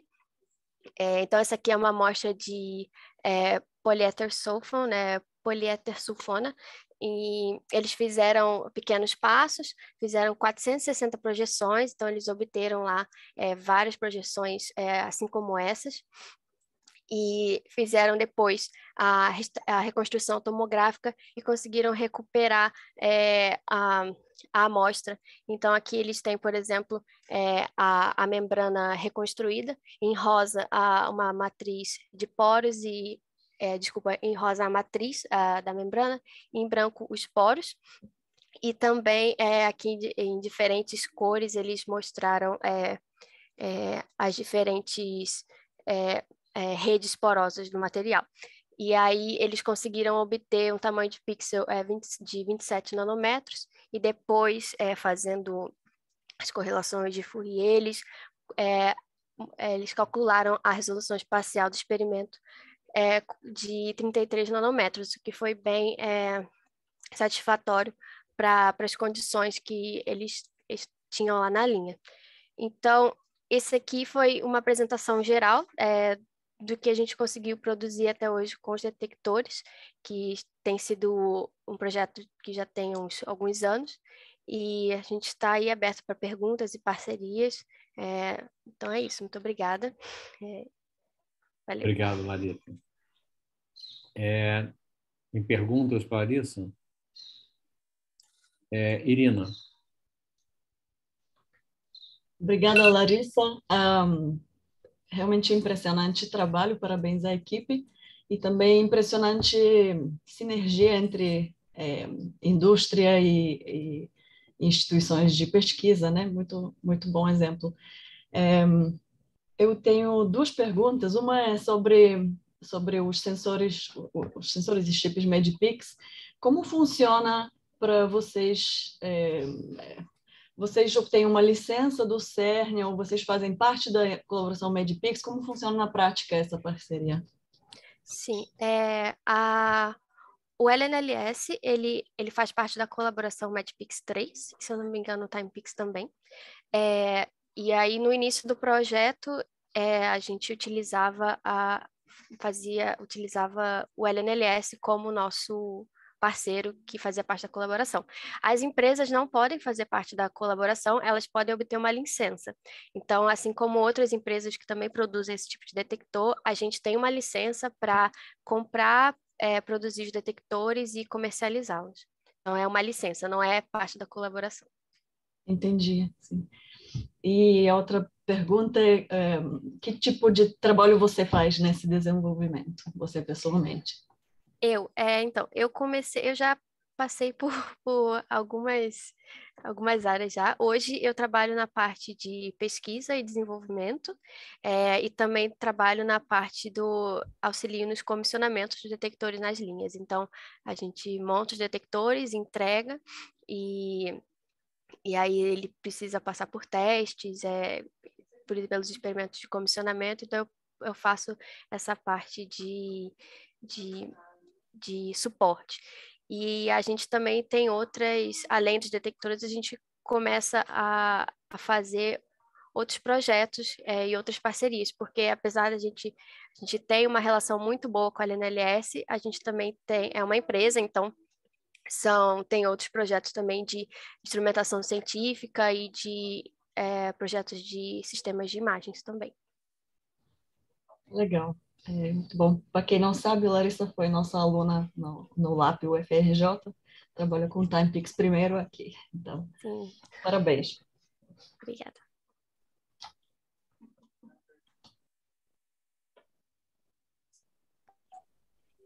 Sou eu agora? Bom, é, não, primeiro também agradecer é, a Larissa. Você, desculpa, meu som caiu aqui. O Marcelo, pode, desculpa. Então, Larissa, queria agradecer também a, a sua apresentação, parabenizar pelo trabalho. Uh, e, na verdade, a minha pergunta é um pouco, não sei se, se, se, se você está a par, né? mas um pouco das perspectivas da empresa em termos de desenvolvimento. Né? Quer dizer, você acabou de falar que tem é, algumas outras né, parcerias além do, do, do, LMS, mas como que você vê, digamos, o, o o planejamento da empresa justamente, né, como a gente está aqui numa um workshop da, da, da, física de altas energias tal, como que você vê o, o, o a, as potencialidades da empresa justamente para eventualmente parcerias com é, é, é, projetos de física de altas energias, com CERN e, etc. Sim, é... então é como eu falei, a gente tem outros projetos, mas o detector de raio-x ele é a, a linha principal, ele é o, o bebê, digamos assim. Então, hoje a nossa estratégia é em, em, também em concordância com a, a, a, a, filosofia do próprio Sirius, é a gente é, divulgar esse, esse, esse, esse produto nacional internacional, internacionalmente também. Então, hoje a gente trabalha nessa parte de, de tentar criar vínculos com outros, com outros lugares para conseguir é, exportar, digamos, o detector. É, então essa tem sido a, a, nossa estratégia. E quanto às outras, as outras, as outras linhas de produção da empresa, é, tem a parte de instrumentação, que a gente tem fechado alguns acordos com a LNLS de produzir outras partes do, do, dos sírios, né, digamos assim, mas não sei se eu posso falar o que, que é ainda, porque uhum. então a gente pode conversar em off depois. Legal.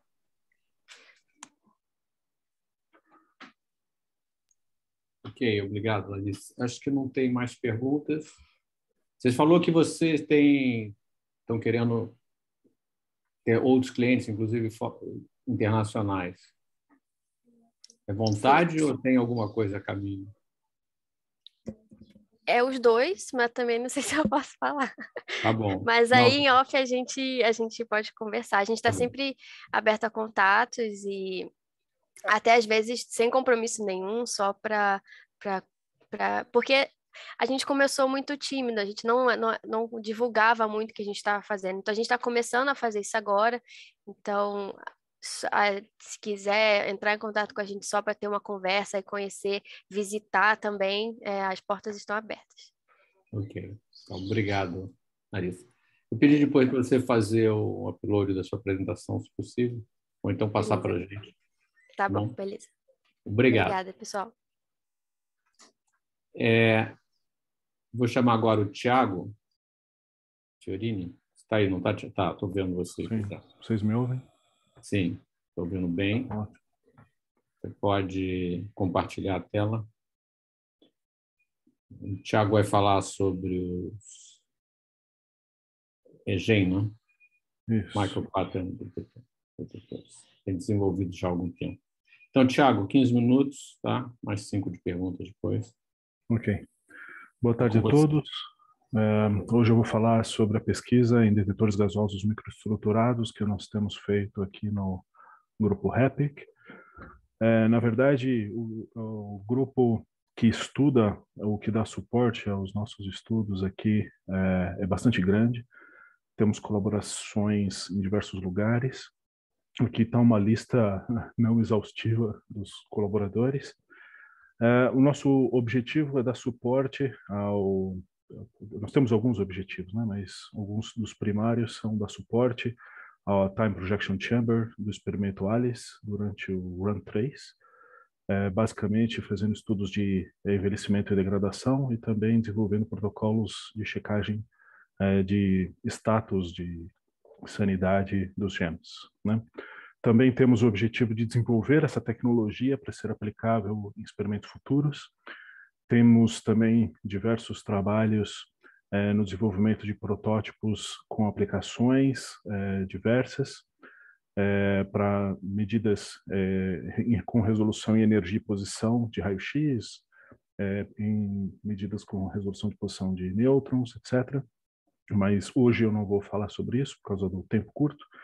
E as pesquisas que nós desenvolvemos são é, agregadas dentro da colaboração RD51 do CERN. Antes de começar a falar sobre o que a gente faz, eu gostaria de fazer a divulgação desse evento, a Escola Experimental de Física Nuclear, é, organizada pela SBF. Eu estou coordenando a escola esse ano. É, o tópico é nos detetores do tipo Gas Electron Multipliers. Então, teremos bastante atividade prática, tanto experimental quanto de computação, e convido é, vocês a indicarem aos seus estudantes a inscrição nessa escola. Nós recebemos um apoio significativo do CNPq para dar suporte aos estudantes, estamos aguardando resposta da FAPESP, mas, enfim. É, o evento vai ser na segunda quinzena de julho, ainda tem um problema de data, porque estamos exprimidos entre o edital do CNPq e o calendário da USP, mas, uh, enfim, essa data pode mudar um pouco, mas não muito. De, aqui está de 11 a 22, então pode mudar um pouquinho, mas não muito. Bom, voltando ao assunto, né, como eu falei, nós estamos temos o objetivo de dar suporte à Time Projection Chamber do experimento ALICE, é, a TPC é esse elemento em vermelho na figura do experimento, e no último update foram instalados os GEMS no lugar das câmeras multifilares para fazer a leitura nas, nos, nos planos de readout. No Alice tem três, é, aliás, quatro camadas de GEM, e o sinal produzido é lido pelo chip Sampa, que foi desenvolvido também aqui no grupo. E o, eu também não vou falar nada sobre isso, mas o Marco vai falar logo em seguida. Então, como funcionam os GEMs? É, produz a, a, uma radiação produz ionização no gás no volume superior. O GEM é uma folha isolante coberta com é, filmes metálicos em ambos os lados ela, ela tem um padrão de microfuros, é um padrão regular, é, com uma diferença potencial aplicada entre os dois planos condutores, gera um campo elétrico dentro desses orifícios que acelera os elétrons, induzindo o avalanche de partículas, o, avalanche de ionizações. Né? Então, nessa, nessa imagem, os, as partículas azuis são os elétrons e as laranjas são os íons, e como você pode ver, nesse avalanche também são produzidos uma série de íons que são direcionados de volta no volume é, superior, é, produzindo o efeito de ion backflow, porque esses íons podem se recombinar e mitigar o sinal de eventos subsequentes, mas também tem uma série de íons colidindo com a placa metálica superior, e eu vou falar um pouquinho mais sobre isso mais adiante. Mas essa ilustração, esse desenho aqui mostra é, como o gas electron multiplier funciona para a amplificação do sinal de ionização no gás. Bom, eu chamo uh, a atenção para esse relatório da Comissão Europeia de Aceleradores Futuros. Tem, é, tem é, é, capítulos para diversos detetores. O primeiro é sobre detetores gasosos. Tem um texto bastante interessante lá para ser lido. É, aqui tem essa tabela esquemática que eu tirei desse documento. Ela tem, muito, tem pouca informação, mas ela é bastante ilustrativa para mostrar que os gas electron multipliers é, aparecem nessas três categorias e que uh, essas, essa, esses círculos aqui representam alguma demanda de pesquisa e desenvolvimento. Né? Eu destaquei aqui os termos longevidade e radiation hardness, né? resistência à radiação, propriedades do gás, capacidade de taxa de contagem, ion backflow, que são temas onde a gente tem trabalhado e tem aqui mostrando uma demanda que pode ser, nesse caso dessas bolinhas vermelhas aqui, uh, sem esse desenvolvimento desses temas, uh, se, se tem um, uma, um obstáculo para se, uh, se atingir o objetivo físico do experimento. Né? Então, mostrando que esses temas são importantes no desenvolvimento de detetores gasosos, principalmente nos microestruturados. Então, para trabalhar no aumento de taxa de contagem e, e controle de ion backflow, nós temos é, trabalhado em conjunto com a Universidade de Nottingham e, desde o ano passado, com o apoio da Boston Microfabrication, uma empresa localizada em Massachusetts, no desenvolvimento de protótipos de gas electron multipliers com impressão 3D em resolução micrométrica. É, as impressoras 3D né, com essa resolução atualmente conseguem produzir folhas de GM desse tamanho aqui, né, o tamanho de uma moeda praticamente, mas a intenção é produzir microestruturas que possam otimizar o funcionamento, testar a ideia e depois partir para a produção em larga escala. Então aqui tem uma imagem mostrando o que, que a gente almeja, né, obtida por simulação. Do lado esquerdo tem um, é, um gem tradicional, no lado direito tem um gem com uma microotimização na vizinhança do orifício, que é um anel inserido aqui. Esse anel perturba o campo elétrico em comparação com o campo elétrico da, da primeira ocasião. E o que a gente percebe é que os íons se dissipam um pouco mais rápido aqui, mas o que é importante, mais importante aqui nesse caso, é que você restringe a trajetória dos íons e eles acabam batendo mais perto do buraco do, e, e, se estendendo menos nessa direção. Né? Então, basicamente, esse tipo de otimização que a gente está procurando e essa flexibilidade para produzir essas geometrias só pode ser atingida nesse momento em termos de protótipo com impressão 3D. Então, aqui tem uns exemplos onde a gente obtém a, a camada é, isolante do, é, produzida com um padrão de microfuros, mostrando que a gente tem resolução suficiente e também mostrando que a gente consegue adicionar uma, algumas decorações na vizinhança dos furos para obter essa modificação do campo elétrico. Também aqui mostra que a gente tem uma certa flexibilidade para controlar o formato das paredes internas do furo do gem, o que é interessante porque esse tipo de geometria côncava aqui não é possível de se obter com as técnicas de fabricação tradicional dos gems. Então a gente pode explorar essa flexibilidade uh, com as técnicas de impressão 3D. O nosso desafio no momento está sendo produzir a impressão multimaterial, por isso que a a empresa BMF entrou na, na discussão, justamente porque a gente precisa fazer essa transição do elemento isolante para o elemento condutor, mas por enquanto o que a gente tem feito é fazer testes com técnicas convencionais de deposição. A gente tem que fazer um sombreamento das paredes internas. Aqui tem uma, imagem de microscopia eletrônica por elétrons retroespalhados, mostrando a deposição de metais dentro do furo, né? Então, essa aqui seria a camada de metal, aqui a camada isolante, mas quando você olha em elétrons retroespalhados, você vê que tem elementos de Z alto aqui dentro, que são os materiais metálicos. Né? Então a gente precisa fazer um sombreamento, por isso que a gente está utilizando essa flexibilidade da impressão 3D, quando a gente obtém, eh, faz esses furos mais côncavos aqui, a gente produz um efeito de sombreamento e consegue proteger razoavelmente bem as paredes internas dos furos. A gente está desenvolvendo agora, junto com a Poly, uma técnica para limpeza dos resíduos eh, internos aqui do gene.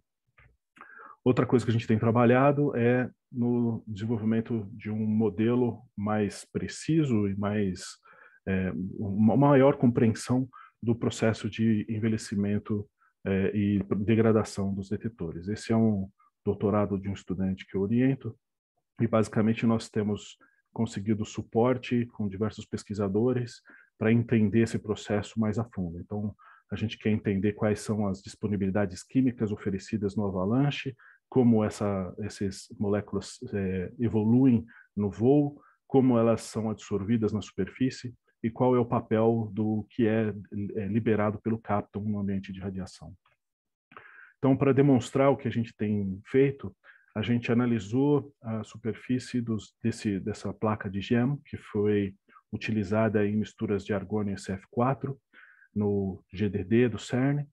É, essa placa ela foi danificada por uma faísca muito intensa. Você pode ver aqui que tem uma marca que na verdade é um, é um furo bastante grande feito por uma faísca que deu nessa placa. Né?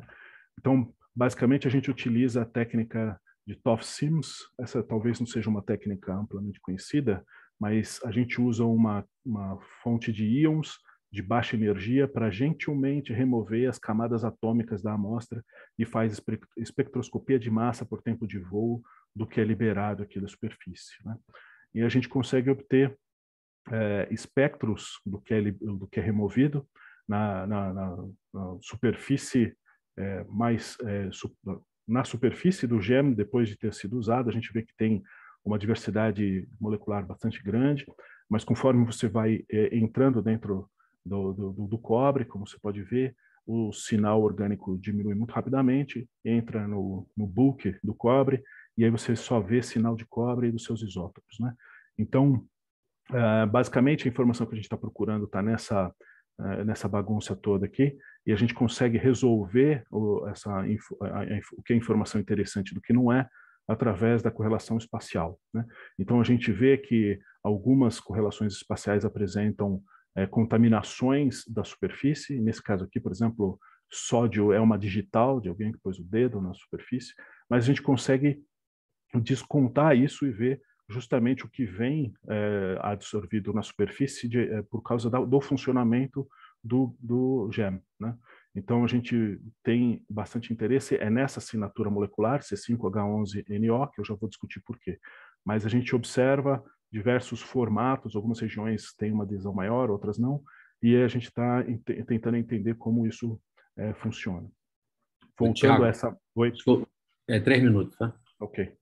Voltando para essa molécula mais complexa, ela é interessante porque ela é justamente uma assinatura da degradação de radiação, por radiação do capton. Então, o capton da camada isolante se redeposita na superfície do cobre e isso é o que, nesse caso, causa os efeitos de envelhecimento e de degradação do germe. Então, é isso que a gente tem estudado mais a fundo, justamente porque perto daquela região que foi danificada por uma faísca grande, existe uma, um sinal muito intenso dessa molécula. Então, a gente acredita, por diversas outras razões, que a gente pode discutir depois, que a, o acúmulo dessa, desse material na superfície é o que aumenta a intensidade da faísca. Outra coisa é que, analisando com XPS, a gente observa que o estado de oxidação da superfície do cobre não é exatamente o que se espera.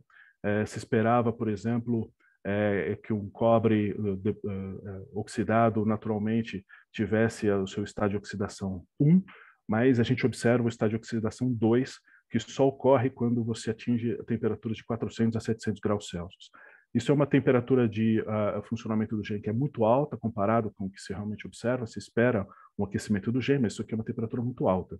Para ter uma ideia, a temperatura de transição vítrea do Capton é 350 graus Celsius aproximadamente. Então, nesse, nesse range de temperatura, o Capton já teria perdido as suas propriedades. Então, o que se entende é que é a própria radiação que induz essa mudança de estado de oxidação do cobre e também representando um efeito de envelhecimento. Outra coisa é que quando você analisa a seção transversal do, do gemo, você observa uma migração do cromo. O cromo é uma camada bem fininha que se, se usa entre o capton e o cobre para se produzir a adesão do cobre. E quando você observa o lado que era mais exposto à radiação, esse cobre ele foi totalmente difundido dentro do, do esse cromo foi totalmente difundido dentro do, do, dentro do cobre, representando uma possível perda de adesão dessa, dessa, desse filme de cobre aqui. Esse também é um processo que não era esperado, porque a temperatura de, inicia, de, de início dessa difusão também é muito alta. O que se entende é que esse aqui foi um é, movimento de fusão é, promovido pela radiação. O que é interessante desses dois fenômenos é que eles são fenômenos que dependem de tempo, apesar da radiação é, dar o início do processo, são eventos que levam tempo. Então, esses testes de envelhecimento em bancada não são capazes de observar esse tipo de variação. Então, é, análise pós-mortem também é bastante importante nessa avaliação dos, do, do envelhecimento dos detetores. Bom, a gente tem, a gente projetou uma câmara de degradação, tem diversos sensores previstos para serem instalados, filtros, é, enfim, uma câmara bastante limpa para se controlar o ambiente em que esse, esses gems serão degradados de forma controlada. A gente tem feito simulações de fluxo de gás justamente para conseguir entender quais são as movimentações e as migrações de materiais dentro dessa câmara, dessa câmara. E é, ela também tem um certo controle de posição de entrada e saída do gás, justamente para controlar o tempo de residência dos resíduos que saem, sejam do gema ou que entram junto com o gás, e assim a gente ter uma forma de desacoplar esses dois efeitos. Então, como conclusão, a gente tem desenvolvido trabalhos de pesquisa no, no, no, na, na, tecnologia dos gas electromultipliers para tentar desenvolver uh, novas abordagens, tanto com respeito à degradação e envelhecimento, quanto da produção visando é, a, a agir sobre os efeitos de ion backflow. Então, é, bom, é isso que eu tinha para dizer hoje. Obrigado, Tiago. Bom ver que a compreensão dos processos está aumentando, né? estou entendendo um pouco o que acontece mais. É, perguntas para o Tiago? Acho que sem perguntas. Oh, o, o Tiago, uma curiosidade aqui, ó. a ideia é usar isso no, no RAM 3, certo? Bom, uh, veja que os estudos de degradação que a gente fez até agora são com CF4, que é um gás muito mais é, agressivo para o GEM comparado com o orgânico CO2 que é usado no TPC, né? Então, a gente pretende fazer os testes de CO2 na nossa câmara de degradação, justamente para entender como vai se dar esse envelhecimento dos gems durante o RAM 3. É, o que se espera, na verdade, é entender como se dá as variações de ganho para propor correções de dados, esse tipo de coisa. Né? Mas sim. Ok. Anderson, acho que o Anderson tem uma pergunta. É, parabéns, Thiago. Muito, muito boa apresentação, muito interessante o trabalho. Né? Ah, qual é o ganho, na verdade, de, dessa gen? Né? E se vocês trabalham com gen, com, com geometrias diferentes, geometria cilíndrica, por exemplo? Bom, o, o, ganho ele depende muito da tensão que você aplica e no caso, por exemplo, se você olhar a estrutura do da TPC do Alice que tem quatro gêmeos, você acaba ah, escolhendo ganhos, escolhendo diferentes potenciais aqui. Na verdade, é, eventualmente para controlar o fluxo de íons e não necessariamente para obter um ganho, mas a gente está falando de ganhos que são da ordem de centenas ou até 10 a terceira, né? um fator de 10 a terceira. Uh, a segunda pergunta que você fez foi? A geometria, né? Se tem alguma ah, gen com geometria cilíndrica, por exemplo, ou alguma outra forma que não seja planar. Então, a, a gente ainda não tem essa, essa possibilidade, né? Na verdade, a gente, o, as folhas de gema que a gente usa aqui no grupo, elas são adquiridas do CERN. O que a gente tem trabalhado bastante é, intensamente é em técnicas de produção nacional desses gems para produzir é, em formato cilíndrico ou, ou, em áreas diferentes, enfim, em formatos de disco, por exemplo, né? Então, o do CERN, que a gente tem acesso, pelo menos até agora que a gente observou, é o formato bicônico. É, a gente sabe que existe o formato cônico, o que a gente compra é o formato bicônico, e o que a gente tem conseguido produzir é de formato ou, bicô, ou cônico ou cilíndrico, né? Então, mas ainda está um estudo preliminar ainda. A gente tem conseguido produzir áreas de alguns centímetros quadrados e que a gente está começando a fazer os primeiros testes agora. Então, se espera ter uma flexibilidade de tamanho, formato em breve, mas por enquanto ainda não. Obrigado. É, Luiz Miguel. Olá, tudo bom?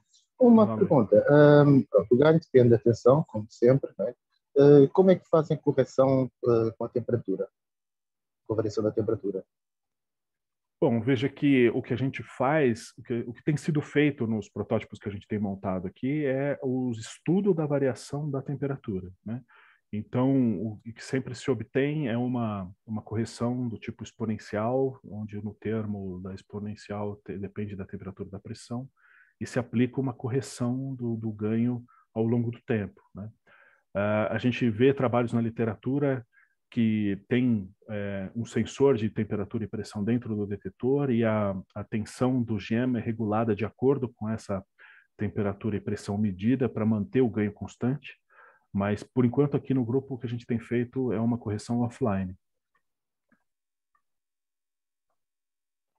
Oh, ok, obrigado. Não estava a perguntar, por exemplo, assim, normalmente, por exemplo, nos detectores, que são, não são agências, como é eu tenho uma rede de sensores de temperatura e pressão para fazer o ajuste. Portanto, eu estava a perguntar se, se nos vossos vocês já tinham implementado também sensores de pressão e temperatura para fazer o ajuste. Sim, sim. É, os, os, Mas os também vocês estão em. O, ambiente.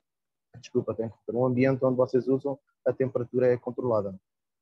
Ela é controlada com um, ar, um aparelho de ar-condicionado convencional, mas a gente percebe que ainda assim tem um termo de correção de temperatura que deve ser feito. Então, é, bom, é isso que a, que a gente faz, a correção dos dados offline depois. É. Obrigado. Ok. Obrigado, Thiago, pela apresentação. É, não esqueça, por favor, de fazer upload, tá? É, o próximo é o Marco Bregante. Marco, você está aí? Estou, estou. Boa tarde, Leandro. Boa tarde a todos. Tá. Pode compartilhar?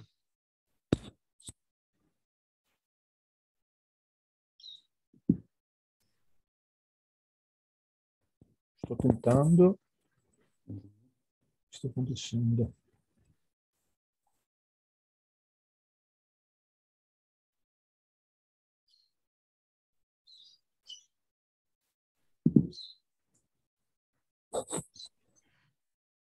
Tendo uma um problema de distância inesperado.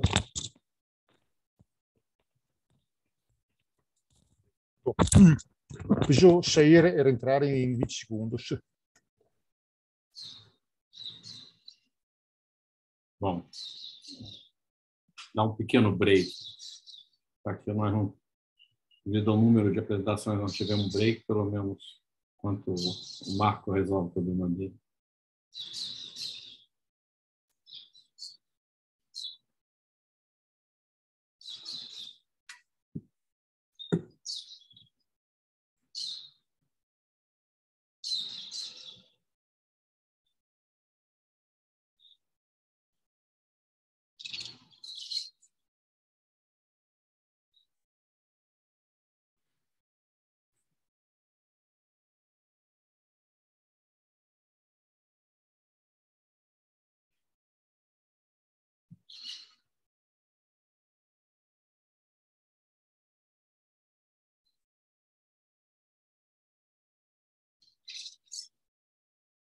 Ok. Para mim apareceu, só não está em tela cheia, Marcos. Isso.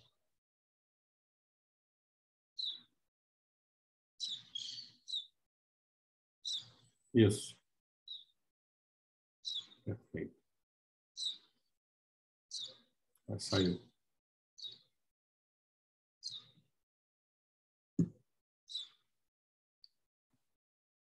Tá bom, Tá Marcos. no mudo. Marcos.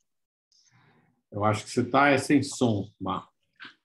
O telefone está ele aqui na, na sala ao lado. Tem que ligar só o Ah, isso. Ok. Agora, Agora Ah. funciona? agora dá para ouvir. Ok. Ok, Marcos. Então, Tudo deu errado hoje. Ok. mas agora vai dar certo. 15 minutos para você, ok? Está ótimo. Bom, bom o que vou eh, mostrar, apresentar é a atividade eh, dos últimos anos aqui na cidade de eh, São Paulo, com desenvolvimento e teste de ESIC e também uma atividade de desenvolvimento de eletrônica de leitura associada eh, para uso eh, local. Primeiro, da eh, de onde eh, eh, sa- saiu tudo, tudo isso? Qual foi o começo? O começo do projeto SAMPA vem para satisfazer uma necessidade do experimento Alice, que é o, é grupo aqui de estudo de física fa- faz parte, que na hora de fazer o update per RAN 3, estava consider- considerou primeiro eh, trocar o plano de leitura da TPC, mudando da Operational Chamber per GEM, o GEM falou, acabou de falar o Tiago, e também, sendo que Coran 3 tinha mudado a estratégia de aquisição, eh, precisava ir para uma taxa eh, bem maior mais compatível com a nova aquisição. Também, eh, a câmera de eh, traçamento dos muons, dos muon chamber, que é parte do foro spectrometer, necessitavam de uma nova eletrônica de leitura. No caso do muon chamber, eh, teria mantido eh, a lettura feita per multi-wave operational chamber. Muon chamber é uma, é um detetor de traçamento. O que aconteceu que, de qualquer forma, eh, a gente teve a ótima e péssima ideia ao mesmo tempo, louca ideia, de eh, eh, se eh, candidatar para eh, desenvolver esse ESIC effettuare a lettura tanto da TPC come do Chamber e fu feito isso com uma eh, parceria junta com a local Escola Politecnica. Eh, o, ESIC que a gente eh, precisava desenvolver tinha especificações eh, bem costuradas acima da necessidade de Alice, que vinha de ter pelo menos 32 canais de front-end, fornecendo tanto a amplificação, o shaping, a digitalização e também uma eh, capacidade de digitação processor para poder eh, eh, filtrar em tempo real os dados, em particular da eh, eh, eh, TPC. Tendo eh, adicionado também a necessidade do Moon Chamber, saiu também uma limitação de eh, tamanho. A gente não podia ter um footprint maior de 15 vezes 15 centímetros quadrados. Como falei, eh, foi desenvolvido tendo eh, duas, dois targets, dois objetivos diferentes. De um lado, leitura de uma TPC de GEM, ou seja, ter um, um ganho mais eh, elevado e ler, coletar eh, um sinal negativo, de carga negativa. Do outro lado, teve também a necessidade de ler um multiplication chamber, que dá um sinal positivo, onde também ah, o sinal era já maior desde o começo e a gente precisava de um ganho eh, menor. Porém, também precisava de um ruído, eh, eh, um, um range dinâmico maior e um, e, e um shaping time para melhor, melhor medir o sinal um pouco maior. Tudo isso eh, está su- resumido nessa ta- tabela em, em preto. Já é, falo que teve depois um desdobramento, depois que foi produzido o, o champa para o uso de Alice, que foi pedido pela corporação é, S-Phoenix uma versão levemente modificada, otimizada só por GEM, onde foi introduzido um picking time bem mais é, curto e foi também é, otimizado o lado é, ADC para é, um shipping time menor, ou seja, trabalhar a 20 megasample por é, segundo. Como nível de estrutura de esquemático geral, layout geral, o SAMP apresenta uma estrutura bem clássica e padrão de um preamplificador, Chassis Amplifier, Shaping, e cada canal tem um ADC dedicado, e depois o DSP provê eh, a possibilidade de filtragem, assim como o gerenciamento de comunicação via eh, eh, links em escala low voltage signals. Bom, aqui só para, eh, rapidinho, rapidinho, para mostrar eh, uns, uma das características eh, do Sampa, em particular, la, a, a, versão normal do Sampa trabalha com a, a 10 megabits per segundo, sendo 10 bits nominais, ou seja, um equivalent number of, bit eh, melhor de 9 eh, eh, bits.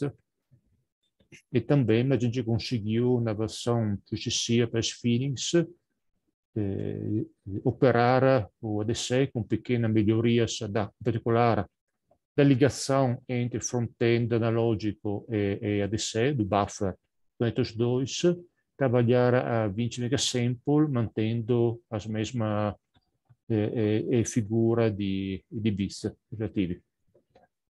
Parte importante, interessante è che eh, o chip Sampa tem uma, uma boa parte do, eh, do, da área eh, de, eh, dedicada, superfície dedicada a desenho de processo e mais que metade, que oferece várias eh, opções que foi pensada principalmente para um uso eh, old, eh, old style, eh, vecchia maniera di una eh, PPC.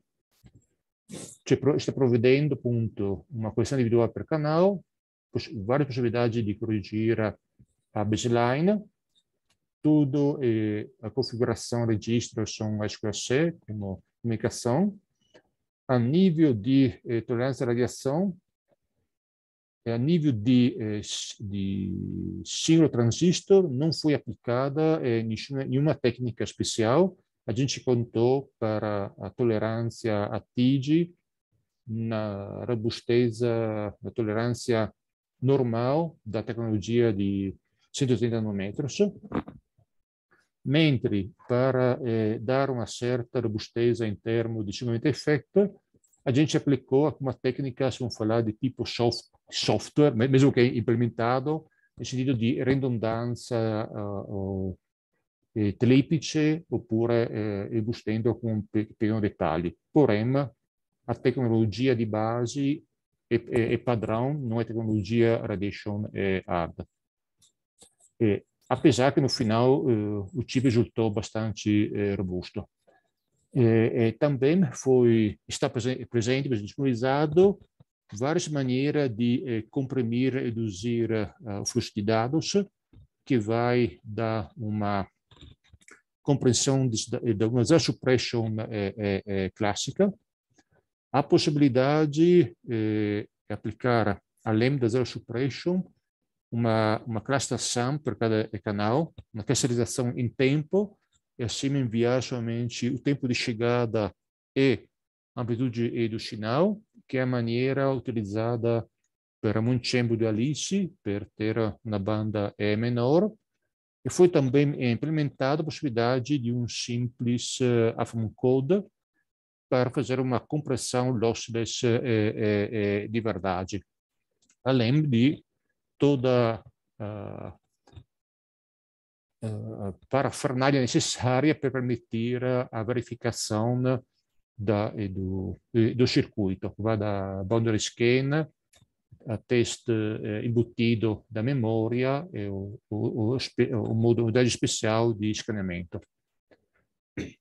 Pode é importante que o sample é muito foi muito cuidado é a capacidade de enviar o fluxo total de dados até eh, decimalização por segundo sem nenhum problema. Ou seja, o sample consegue enviar tudo, pode ser lido tudo, pode ser usado como uma sorte de osciloscópio a, a, a, mais ou menos a 32 32 canais a 10 megasamples e também eh, eh, permite a modalidade triggerada.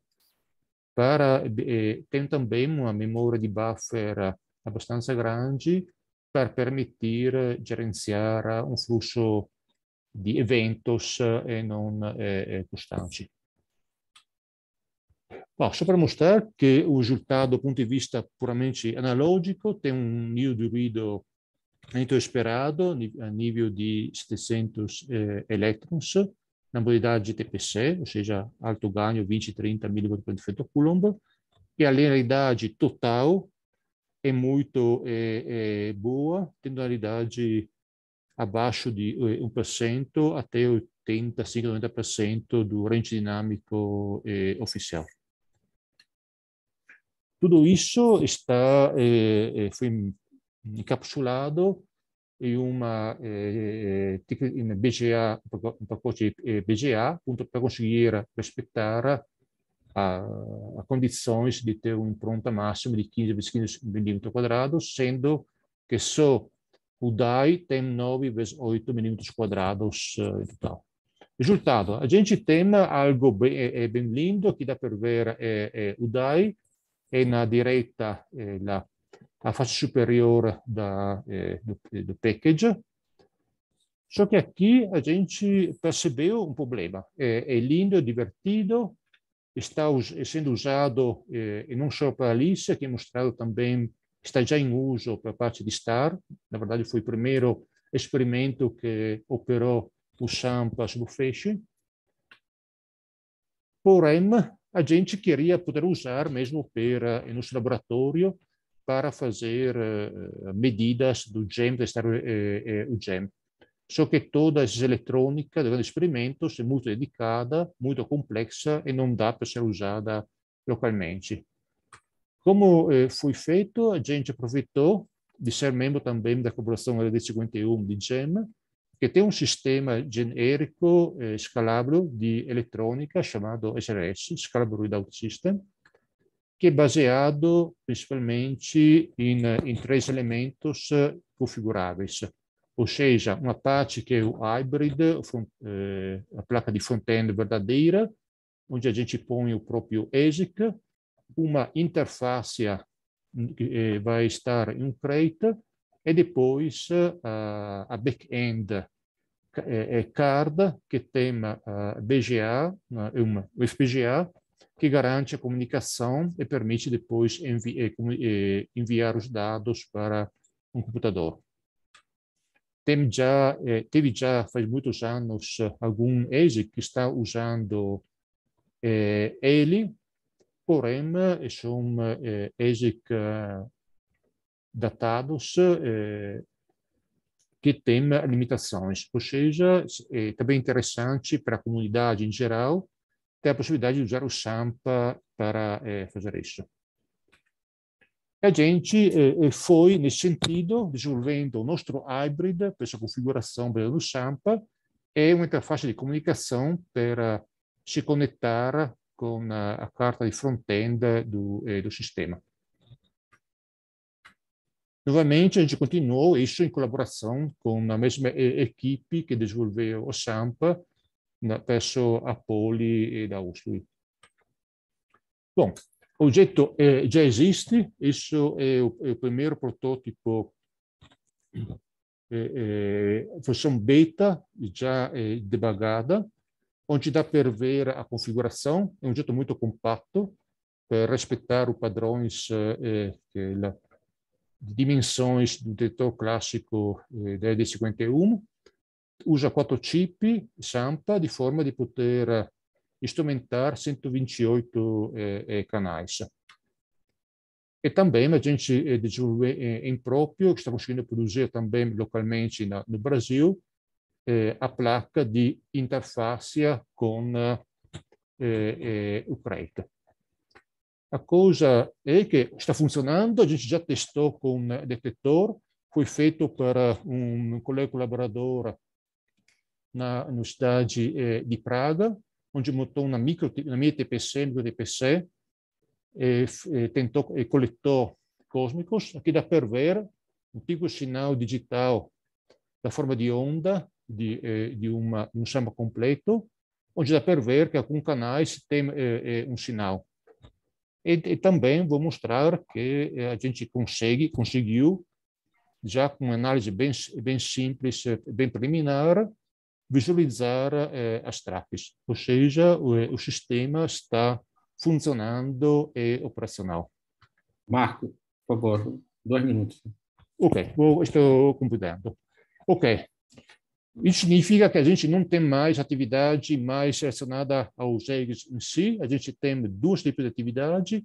Uma relacionada ao focal. A gente foi mesmo contatada, conversou a possibilidade de usar o SAMPA mesmo para o focal, porém É per detectores gasosos, Focal é um calorimetro, o dinâmico não é compatível. Apesar disso, a gente está pondo todo o próprio conhecimento e também laboratório usado para validar e testar o SAMPA para contribuir a participar à caracterização e validação do sistema de readout baseado em XC-ROC do Focal.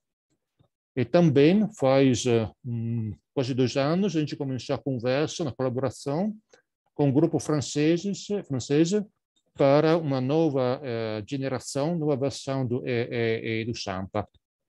A colaboração está lentamente, devagar, se formando. A gente também já fez, submeteu um projeto conjunto à NER e FAPESP, Esperando que vai dar o primeiro passo, eh, passos para consolidar essa eh, colaboração para um ASIC que vai sair eh, daqui três, quatro anos, não antes. O problema é sempre o tempo muito longo que tem entre começar um desenvolvimento e ter o objeto eh, final.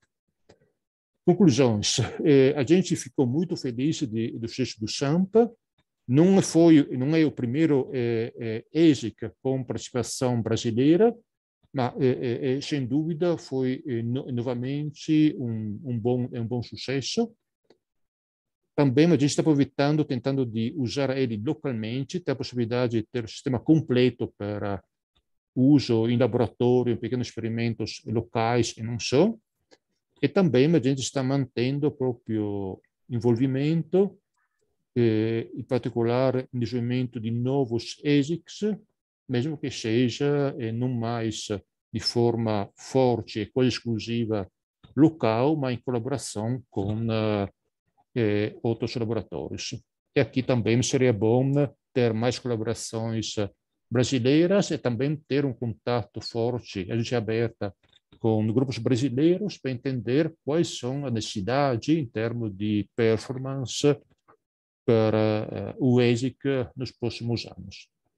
Agradeço pela atenção. Obrigado, Marco. É, perguntas para o Marco?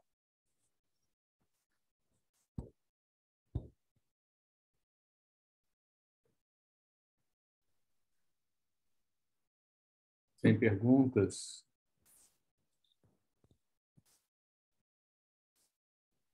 Eu tenho aqui uma. O Luigi. Luigi. Luigi. Oi, Marco, a gente já se conhece. Queria te perguntar: você escolheu de usar o DisplayPort Connector para a serialização do. Da, do, do hybrid é, interface, sim. Exatamente. Você, é, para curiosidade, até que velocidade testou a, a DisplayPort na sua aplicação? A gente está é, é, trabalhando a 1.2 2, 1.3 eh, gigabit, porque está multiplicando três links a 320 a 300 eh, meg, megabits em um link de alta velocidade para okay, com DisplayPort conseguir ter 16 links entre hybrid e, e interface, interface. Obrigado. E uma outra pergunta, na slide número 13, na imagem de esquerda, é, no, exato, a placa para estar. Nesse Sim. caso, o Sampa fica bem perto do Edge Connector para o Sim. sinal digitalizado, né? Não, não, isso é... é, é ah, e, e, e, do lado, e, do, e do lado analógico, tá. Porque, exatamente, porque não entendia porque ele tinha essa, essa linha de transmissão tão longa do lado do, do lado analógico. Achava que a ao não, aqui, o Sampa, no fundo, tem um FPGA que está gerenciando e o FPGA cuida de conversar com a aquisição. Muito bom. Obrigado. Obrigado, Marco. Pode, pode parar de compartilhar, por favor. É, o próximo é André Cascadão. Você está aí, André?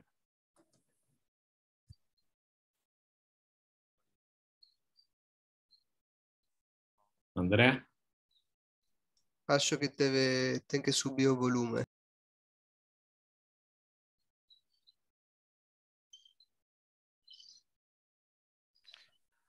Alô, André. pode ouvir? Ah, agora sim. Sim, é, às vezes tem que mexer no volume. É. Agora? Tá perfeito, tá bom. Você tá podia certo. compartilhar os slides? Sim, posso.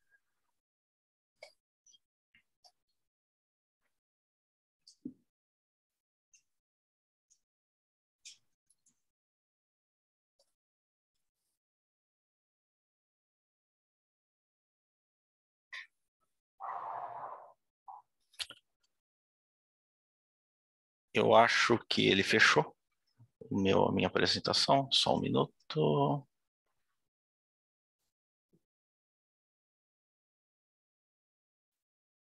Vendo sua tela. Agora sim. Pode ver?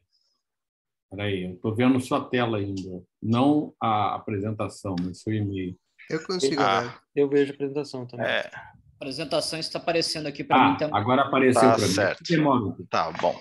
Tá ok, André, então é 15 minutos para você, tá?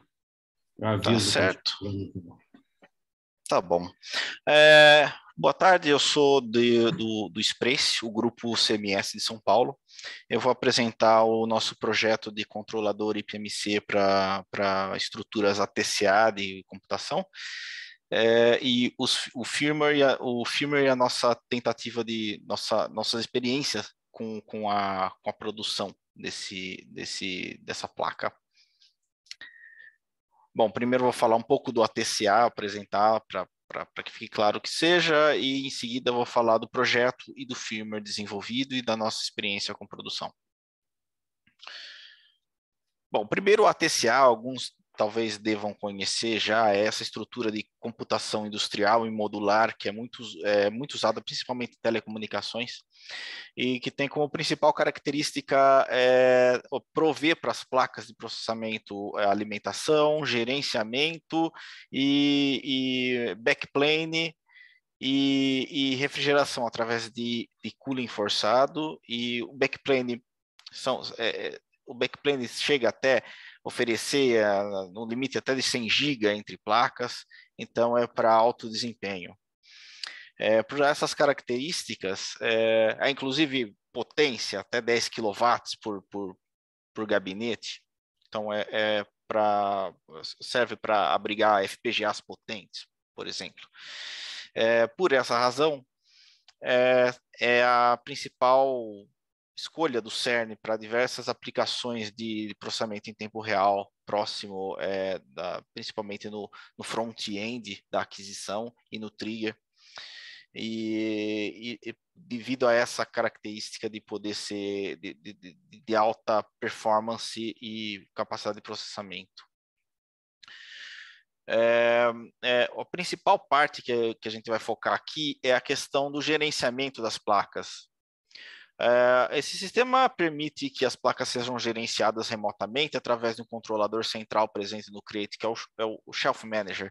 É equivalente em servidores ao, ao controlador ABMC, que tem acesso à rede e pode e permite que se faça o gerenciamento é, é remoto. É. E, além disso, é também possível fazer, nesse, nesse padrão, é, é possível fazer a, a, substituição de placas com o sistema é, rodando, de maneira, é, é, é, o, é, o, hot swap, de maneira que você não precise desligar esse sistema. O Chef Manager é presente até na quantidade de dois por, por chassi, que permite redundância. É um sistema todo voltado à redundância, com bus duplo, controlador duplo e etc. É, em seguida, é o controlador IPMC, que é um elemento que deve estar presente em todas as placas ATCA, que permite a comunicação com esse controlador central, Shelf Manager. E por isso, é, uma comunicação padronizada, standard, é, é, é, é definida para essa, para essa, para esse, para esse, para esse gerenciamento. É, o IPMC, particularmente, é um dispositivo que tem que estar em cada placa e ele tem que, além de falar um protocolo padrão, ele tem que saber controlar cada dispositivo, componente gerenciável da placa em si. Então, é um dispositivo que precisa ser elaborado, ele precisa ser programado, é customizado para cada placa especificamente. Aqui eu temos dois exemplos de placas é, utilizadas no CERN, que são à, esquerda a, a Serenity, é, desenvolvida pelo Imperial College e o KT, e à direita a, a placa Apollo, da Boston University. Ambas possuem dois é, espaços para duas FPGAs poderosas, e, e, por essa razão, por serem placas dedicadas a essa aplicação, elas precisam também de controladores dedicados.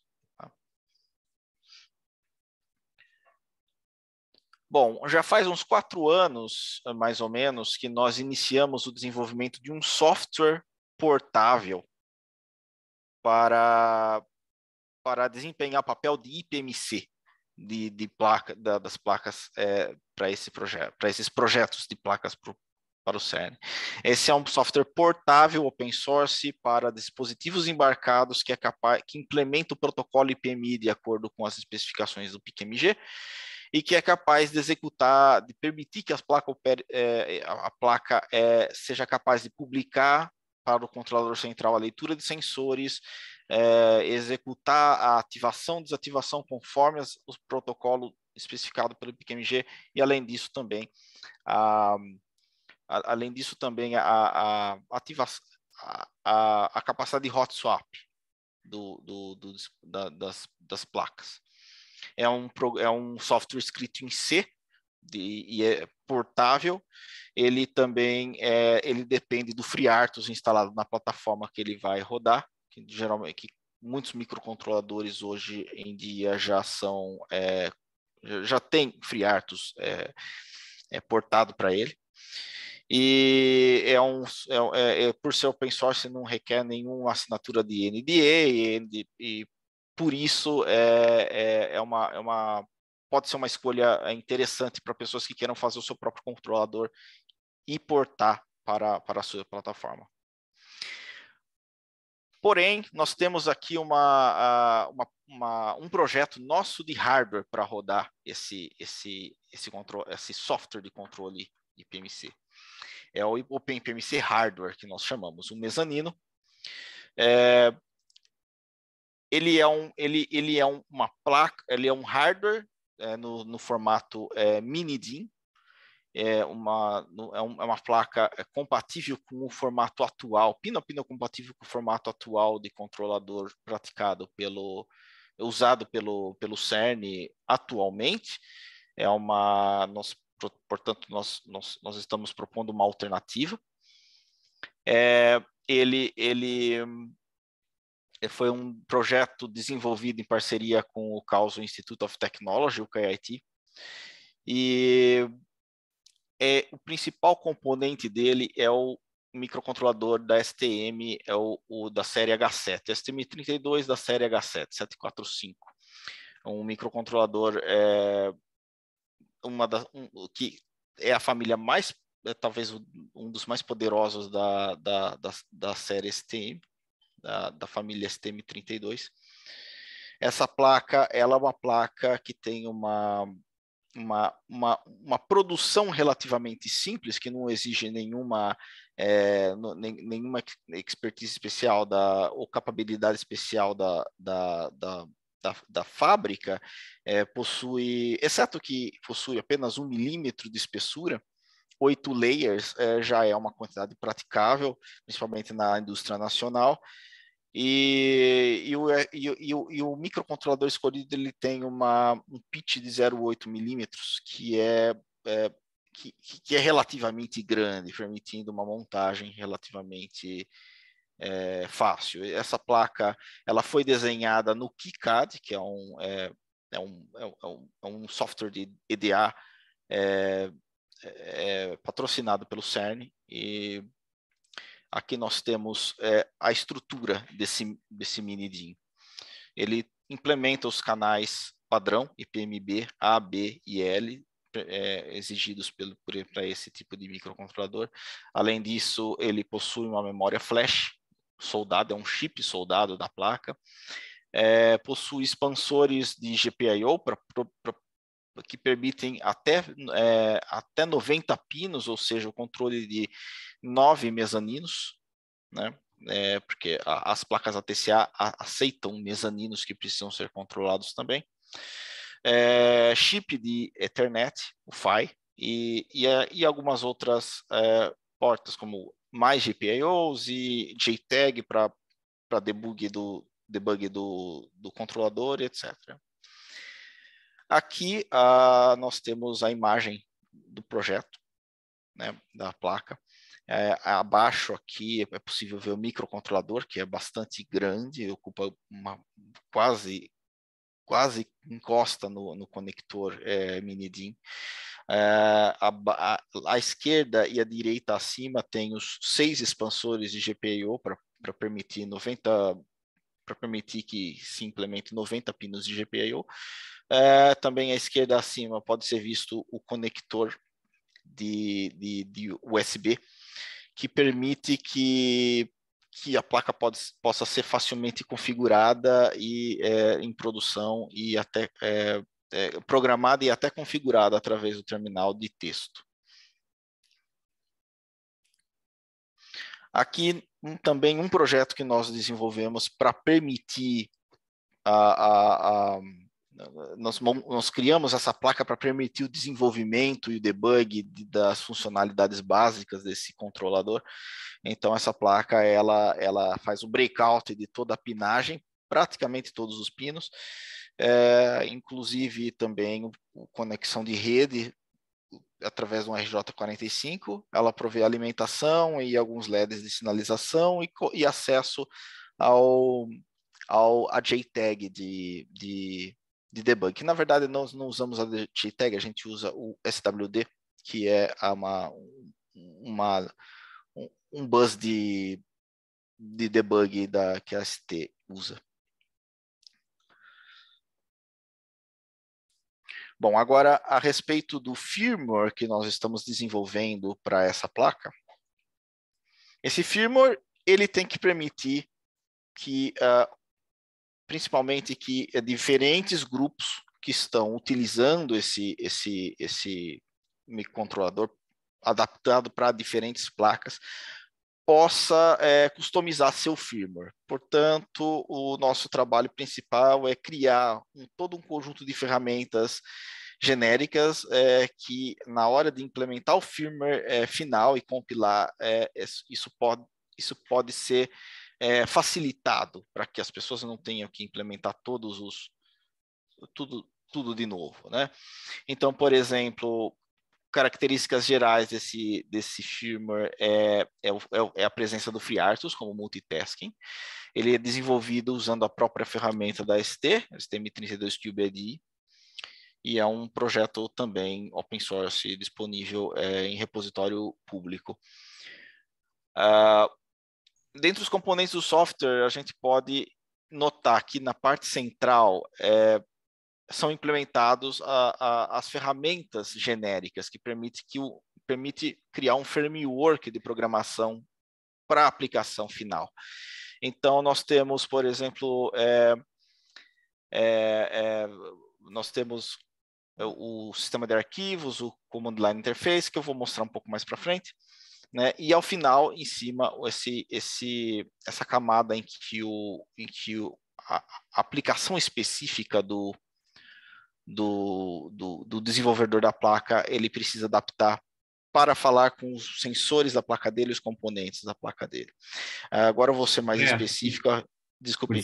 Dois, dois minutos, tá? Ah, ok. Então, aqui é, nós temos é, alguns features básicos, como o sistema de arquivos, o, o, o implementamos também o, o, Remote Firmware Upgrade, é, que é o upgrade do firmware via APMI. É, o LWP, como camada TCP/IP, também tem o, principalmente o próprio OpenPMC Software, que permite a funcionalidade IPMI. É, à esquerda você pode ver ali a, a, o IPMC conectado ao USB e é possível fazer a configuração do IPMC dessa forma. Bom, produção. É, essa placa foi produzida primeiramente no, no KIT, na Alemanha, primeiramente produzida 16, uma segunda versão produzida 50, em seguida, Boston University também produziu algumas dessas placas e, finalmente, o ano passado, nós conseguimos produzir aqui também no Brasil. A, a previsão inicial era uma produção de 20 placas, porém, é, devido à escassez de chip, que é bastante severa, nós tivemos que reduzir é, a quantidade de 12. Aqui à esquerda, a, a, as placas produzidas no Brasil, e à direita as placas, é, uma parte do lote produzido na Alemanha pelo Kate. Bom, aqui uma, uma foto da nossa nosso dispositivo de teste, porque dado que a partir do momento que fomos produzir grandes quantidades, a gente precisava testar é, uma a uma, e pra, principalmente na produção, para checar a integridade de todas, se todos, todas as soldas estão corretas, enfim. Então, se usa uma considerada íntegra para testar o lote que é colocado embaixo. É, e esse dispositivo ele gera um relatório, é um teste é todo feito automaticamente, e esse relatório impresso na tela através do terminal. Então, com isso é possível, em menos de um minuto, testar uma placa e, e portanto, um lote inteiro em pouco tempo. Aqui, três, as três essa, o nosso projeto está sendo testado já em três em três, é, três placas diferentes, a Pulsar 2B, aqui em São Paulo, que também é o nosso ambiente de desenvolvimento, é, no centro a Apollo, em Boston University, e à direita o QIT, é, a Serenity, a, a, placa Serenity sendo testada no QIT. Bom, finalizando, nós desenvolvemos um, pro, um projeto de, de controlador de aplicação é, de, de, é, de, aplicação genérica para essas placas ATCA. É possível que ele seja é, adaptado para cada placa. É, e também nós é, estamos é, já em fase de produção dessa, dessa placa. Portanto, já 85 placas foram produzidas. E o software, o firmware ainda está em desenvolvimento, mas a placa já é um projeto bastante estável de maneira que já produzimos essa quantidade. E, porém, é, atualmente temos um, um, plano de produzir mais no Brasil, uma quantidade maior neste ano. A, princípio seria este ano, mas é, alguns chips ainda não estão disponíveis este ano para serem comprados, como por exemplo o próprio microcontrolador. Então, esse é o maior desafio agora para produzir. É, muitos componentes estão em falta e enquanto isso, a gente trabalha com os chips que nós temos, é, com as placas que nós já produzimos para continuar desenvolvendo o firmware. Enfim, esse É, é isso. Ok, obrigado. Muito obrigado. Perguntas para o André. Primeiro, Marcelo tem uma pergunta. André, primeiro, parabéns aí pelo trabalho, bastante interessante. Muito obrigado. É, deixa só, só para eu entender, quer dizer, isso que vocês desenvolveram, essa placa, esse hardware, né, e o firmware é algo genérico, né? Mas, então, a, a intenção de vocês é instrumentalizar o, o Tracker 2 mesmo, lá do, do, do CMS, e daí também, sei lá, comercializar isso para outras aplicações? Qual que é o, a intenção, o objetivo? Bom, é, esse, esse, esse mezanino específico, ele segue um padrão é, que foi definido pelo CERN há já um tempo. É, já, já, já, já existem, não foi mencionado aqui, mas já existiram do, três projetos de mezanino com a mesma pinagem para o CERN. Então, esse mezanino, ele segue uma pinagem muito particular, é, requerida pelo CERN até hoje. Porém, é, o OpenEPMC, o software, ele é, ele é possível de ser, como é que fala, portado para qualquer microcontrolador. E além disso, o próprio projeto da placa, ele é open, ele é um projeto open. So, portanto, é, esse mezanino específico não é uma ideia exatamente comercial, porém ele, ele, ele, ele tem todo um conjunto de, de, de, de ferramentas já sendo desenvolvida para eles que poderia ser perfeitamente portado para outros sistemas. Né? É, um, um, dos, um, dos, pontos é justamente a questão da conexão. Muitas placas comerciais a TCA soldam o seu, o seu controlador na placa, enquanto o modelo escolhido pelo CERN é com um conector é, removível, né? um conector de, de, encaixa, de encaixe, né? que eventualmente é, é, é uma coisa que, que custa custa bastante, inclusive. Esse conector é, minidinho é um conector relativamente caro. É, portanto, é, comercialmente, talvez essa placa especificamente não seja tão interessante, mas o projeto como um todo, talvez sim. Mas a aplicação, então, é no CMS. A ideia é ter uma aplicação no CMS. Esse projeto, sim. Tá. Esse é, projeto, André, sim. posso dar... Eu acho que o Marcelo quer sondar a possibilidade que ele possa ser usado em outros experimentos. Somos abertos a qualquer colaboração. Claro que não podemos cuidar da é, customização para a placa target. Tem que ter um, um, uma, duas pessoas. Afinal, olha, é relativamente fácil de aprender. Os, os tools são livres, os tools da STM32, da STM Microelectronics. E se vocês no, acho no Alice ou no Atlas, não lembro, quer provar com uma das vossas placas uh, em casa, só para brincar, a gente pode dar para vocês uma placa também. Tá Exato. Ela, é, é, ela, é, ele, esse projeto ele não tem nenhuma especificidade assim que, que, que limite ele a não ser o formato da placa em si mas é, ele pode ser customizado virtualmente para qualquer placa TCA, né? Ok, então é, Fábio Marujo, Fábio. É, André, primeiro belíssimo trabalho, realmente um, achei muito muito profissional, muito bom.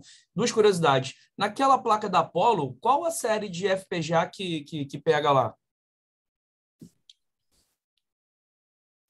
Deixa eu ver, eu, eu não lembro, não sei se o Luigi lembra. Então, na Apollo, eh, a, mesmo a Apollo e a, a Serenity, as duas, são projetadas para que a parte de serviço se, seja comum e a parte de FPGA seja opcional, você pode escolher, né?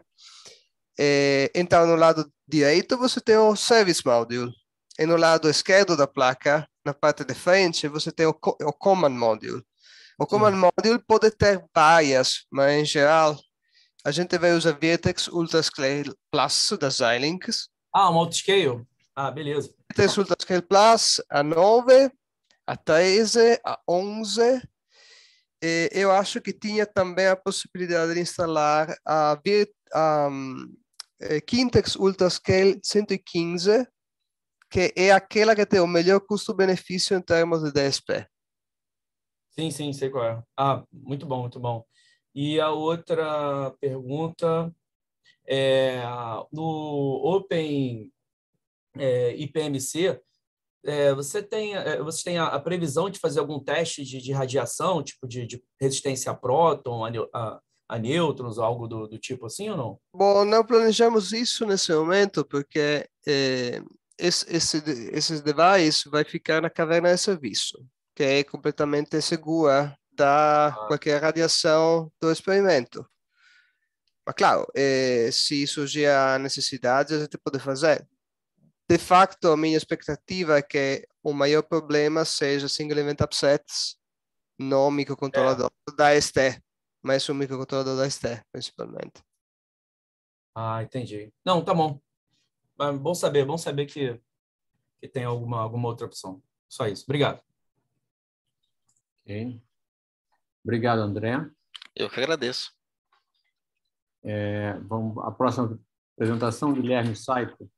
Guilherme, você está aí? Tudo bem? Me ouve? Esperar o André parar de compartilhar. Ah, sim. Eu preciso desligar aqui. Isso, obrigado. Então, Guilherme, você pode compartilhar, já estou vendo aqui. Posso. Ok, então 15 minutos, tá, Guilherme? Tá bom. Sua primeira apresentação. Isso. Né? Nessa primeira apresentação, eu vou falar sobre o sistema de aquisição de dados que a gente construiu para é, rede de detectores de raios cósmicos, que é um projeto de divulgação científica que a Renafai é, dá suporte. Envolve é, vários institutos é, pelo Brasil. Mas eu vou falar sobre o sistema de aquisição de dados. E a nossa proposta aqui era criar um, é, uma rede de detectores pudesse ser colocada tanto em escolas é, públicas ou privadas, que envolvesse é, os estudantes e os professores é, na montagem dos detectores e na análise de dados dos próprios detectores. Dessa maneira, é motivar o estudo de tópicos de física de partículas e tecnologias associadas a, a tudo isso que a gente faz.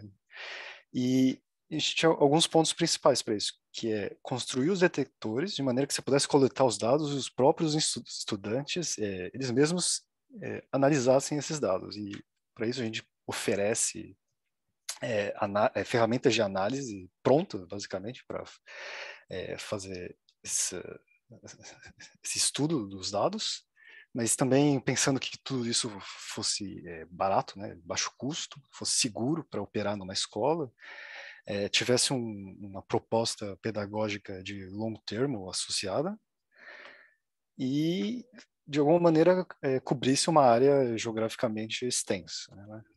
E a estação, né, que eu, a, essa, esse detetor que eu, a partir de agora, chamar de estação, ele foi concebido com algumas é, alguns é, features em mente. Né? Por exemplo, ter oito planos de detecção, usar é, cintiladores plásticos e fotomultiplicadores de silício, daí é, a segurança em operar ele.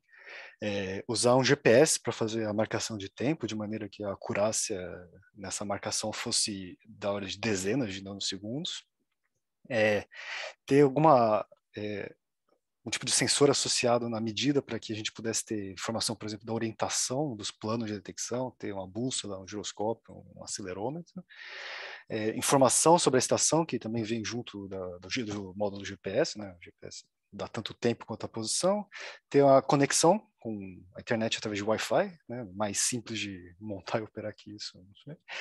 É, ter também sensor de pressão, umidade, temperatura, entre outras coisas, para poder você ter é, é conhecimento de como a estação está operando, mas também você poder usar isso na análise de dados para mostrar para o estudante algum tipo de correlação que possa existir. Ter uma estação que seja é, é, completamente autônoma, né, faça a própria calibração do sistema, que ela inicie os dados sozinho, etc. Né? E, de novo, que ela seja barata e fácil de operar. E a gente convergiu numa, num design, numa estação que tem essa. Cara, são. É, você pode ver, não sei se dá para ver meu mouse, mas eu estou apontando para um, é, para essas caixas grandes, que dentro dela ficam dois cintiladores. Tem um cintilador em cima e embaixo, e na lateral tem essa plaquinha pequenininha que tem os fotomultiplicadores de silício, de maneira que com esses dois cintiladores a gente é, gera um sinal quando existiu a coincidência entre, esses dois planos de detecção. E essa plaquinha pequenininha, ela tem um cabo é, flexível que se liga nessa placa maior, é, de maneira que o conjunto de cintilador, é, fotomultiplicador de silício fique blindada à luz, né, fique escondido, fique no escuro, e essa placa que o, o cabo flexível se conecta possa ficar exposta para é, poder operar ela. E essa placa é, ela é responsável pela parte analógica, pelo, pelo tratamento do, da parte analógica do sinal. Então, tem um amplificador seguido de um discriminador para transformar esse sinal analógico num sinal digital que é transmitido através desse cabo, que é um cabo HDMI, uma commodity, até essa caixa menor aqui, que tem é, essa placa que eu chamo de back-end, onde se agregam o, a informação de quatro, de até quatro uh, front-ends. E, na, e, essa placa ela é responsável por é, agregar os sinais, fazer alguma lógica de trigger, fazer alguma é, tipo de veto ou aceitação dos sinais e é, gerar, uh, através do GPS, os, a marcação de tempo do momento que o sinal foi detectado. Então, essa placa é, responsável por, por fazer a aquisição de dados pelo trigger, também pelo empacotamento da informação e da transmissão desses dados através da internet via Wi-Fi, né? Então essa estação tem o um mínimo de interação com o usuário possível, ela simplesmente começa a operar, formata os dados e entrega esses dados para a internet de algum jeito. E a, a, conexão que você vê aqui são as conexões com é, os planos de detecção, entrada de energia, é, Wi-Fi e GPS, basicamente. Tem mais algumas coisas que você pode fazer, daí a flexibilidade, mas é, você só precisa realmente conectar ela com a energia a internet e ao GPS. É, através daquela ideia que, o, que a gente propôs, e da figura que eu acabei de mostrar, a gente concretizou essa ideia, a gente montou uma estação, que é esse protótipo, e aqui eu mostro as partes dela. Né? Você tem essa plaquinha no canto com os quatro pixels do, da fotomultiplicadora de silício, que estão dentro dessa blindagem de alumínio com cintiladores. Tem o cabo flexível que se liga até o front-end onde tem a parte analógica, o sinal é transmitido até o back-end, onde é formatado, transmitido pela internet. Você vê que o cabo HDMI aqui tem 10 metros, né? então você pode colocar uma área de detecção, é, você pode espalhar é, esses front-ends usando uma estação tão longe quanto 20 metros, por exemplo, uma área razoável para alguns tipos de experimento que você quer fazer. É, esse protótipo ele foi desenvolvido aqui na Universidade de São Paulo, o hardware e o firmware foram é, projetados, desenvolvidos, montados aqui mesmo. Né? Você vê na foto, é, essa mesma extensão que eu acabei de mostrar, mas uma outra configuração, agora tem um plano em cima do outro. Você vê a, no, a tela do osciloscópio, o sinal, coincidência. E esse protótipo ele funciona, ele está funcionando desde 2019, claro que ele parou quando o laboratório estava fechado durante 2020 e tal, mas é, ele está operando desde 2000, final de 2019. É, a gente como a proposta é colocar isso em escolas, é, outros tipos de propósitos de divulgação científica, a gente está montando mais dessas estações, você pode ver as placas de front-end sendo montadas em diversos é, estágios de acabamento. Tem o protótipo que eu acabei de mostrar, e na foto de baixo tem mais, mais é, placas e caixas suficiente para montar mais é, duas ou três estações. Né? E isso vão para escolas, vão para esses projetos de divulgação científica que a gente está envolvido. E, ao mesmo tempo, por causa da pandemia, inclusive, a gente começou a fazer a, versão 2, a versão 2 desse sistema, Que a gente desenhou a placa e 10 placas dessas já estão parcialmente montadas. E isso foi é, interessante porque do jeito que a gente fez a primeira versão era muito complexo fazer o sistema de é, slow control, fazer um display né, local das informações. Mas com essa versão 2 tudo isso é resolvido. Então a gente tem basicamente uma estação é, funcionando. E agora eu falo sobre o software, né, que é a parte em que o usuário é, interage, né? De maneira que a estação em si, como eu disse, ela quase não tem nenhuma interação com o usuário, ela simplesmente joga as mensagens que ela produziu para a internet através de Wi-Fi e algum servidor é responsável por pegar essas é, mensagens, jogar num, em algum tipo de banco de dados que a gente está usando é, aqui e é, o usuário ele pode se interfacear com os dados usando uma ferramenta, por exemplo, Jupyter, que é, executa um código Python, ele vai ler o banco de dados, ele tem também outras formas de interação, o usuário também tem outras formas de interação, por exemplo, usando um Grafana, que é um painel para visualização em tempo real dos dados, e todos esses serviços, a gente é, implementou eles usando essa ferramenta Docker, de maneira que toda essa é, infraestrutura ela pode ser colocada em qualquer novo servidor para qualquer outro usuário que queira é, ter a sua rede de detectores separada da nossa possa fazer isso com um comando simplesmente. Ele tem todo o, os serviços funcionando do zero. É, os dados que a gente transfere nessa rede e que são escritos no banco de dados eles por exemplo uh, são por exemplo é, a marcação de tempo dos eventos o tipo do trigger que gerou aquele evento, tem informação sobre a, eh, a estação, a localização dela, no momento que ela gerou o dado, tem informação sobre a largura do sinal, de maneira que você possa, de algum jeito, reconstruir a energia da partícula que gerou aquele sinal. Você tem é, informação sobre a tomada de dados, é, que a gente chama de run e cosmic blocks aqui. A gente tem o um número de eventos que foram é, que geraram um trigger, né? não só os que foram transferidos para a rede, de maneira que você tenha é, você consiga saber a eficiência da sua estação. Tem, por exemplo, as tensões de polarização do, das fotomodificadores de silício, do, do, discriminador, etc. Ou seja, tem todas as informações para conhecer o estado de operação da estação. É, as condições ambientais da estação, por exemplo, que eu falei de ter um sensor de temperatura, pressão, umidade, etc. Ele também é escrito no, no banco de dados para que o usuário possa é, ler essas informações e fazer essa análise. Né? Tem as informações de calibração, que de algum jeito podem ficar escondidas ou não para o usuário final. E informações extras que o GPS é, é, transmite durante a operação dele. É, a parte importante para o usuário, que é a, como ele faria a análise dessa, desses dados, a gente implementou ele via Jupyter, usando essa ferramenta Jupyter Hub, ou seja, o usuário tem acesso a um ambiente Python completamente funcional, com todas as características que você conhece de uma análise física, com todas as ferramentas de análise de dados que se usam atualmente e essa é, esse ambiente Python ele tem acesso ao nosso banco de dados ou qualquer outro que você queira pro, em outras redes é, através de um, uma ferramenta que a gente disponibiliza. É, essa ferramenta que leu o nosso banco de dados, por exemplo, ela consegue filtrar é, intervalo entre as marcações de tempo, entre os momentos que geraram os eventos, consegue filtrar pela posição da estação, pela, pelos sensores, é, tanto de, de, de, de sensor de geometria do plano de detecção quanto o sensor ambiental, consegue filtrar com, pela, pelo trigger que gerou uh, aquele, aquele evento, consegue também, qualquer outra configuração que esteja no banco de dados consegue ser lida para essa ferramenta de análise.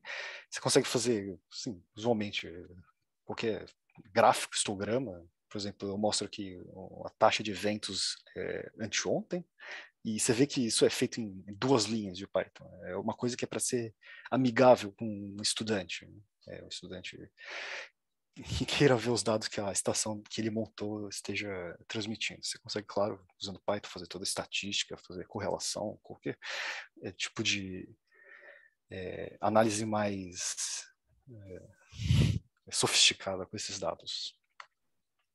a gente... Dois minutos e pouco. Tá?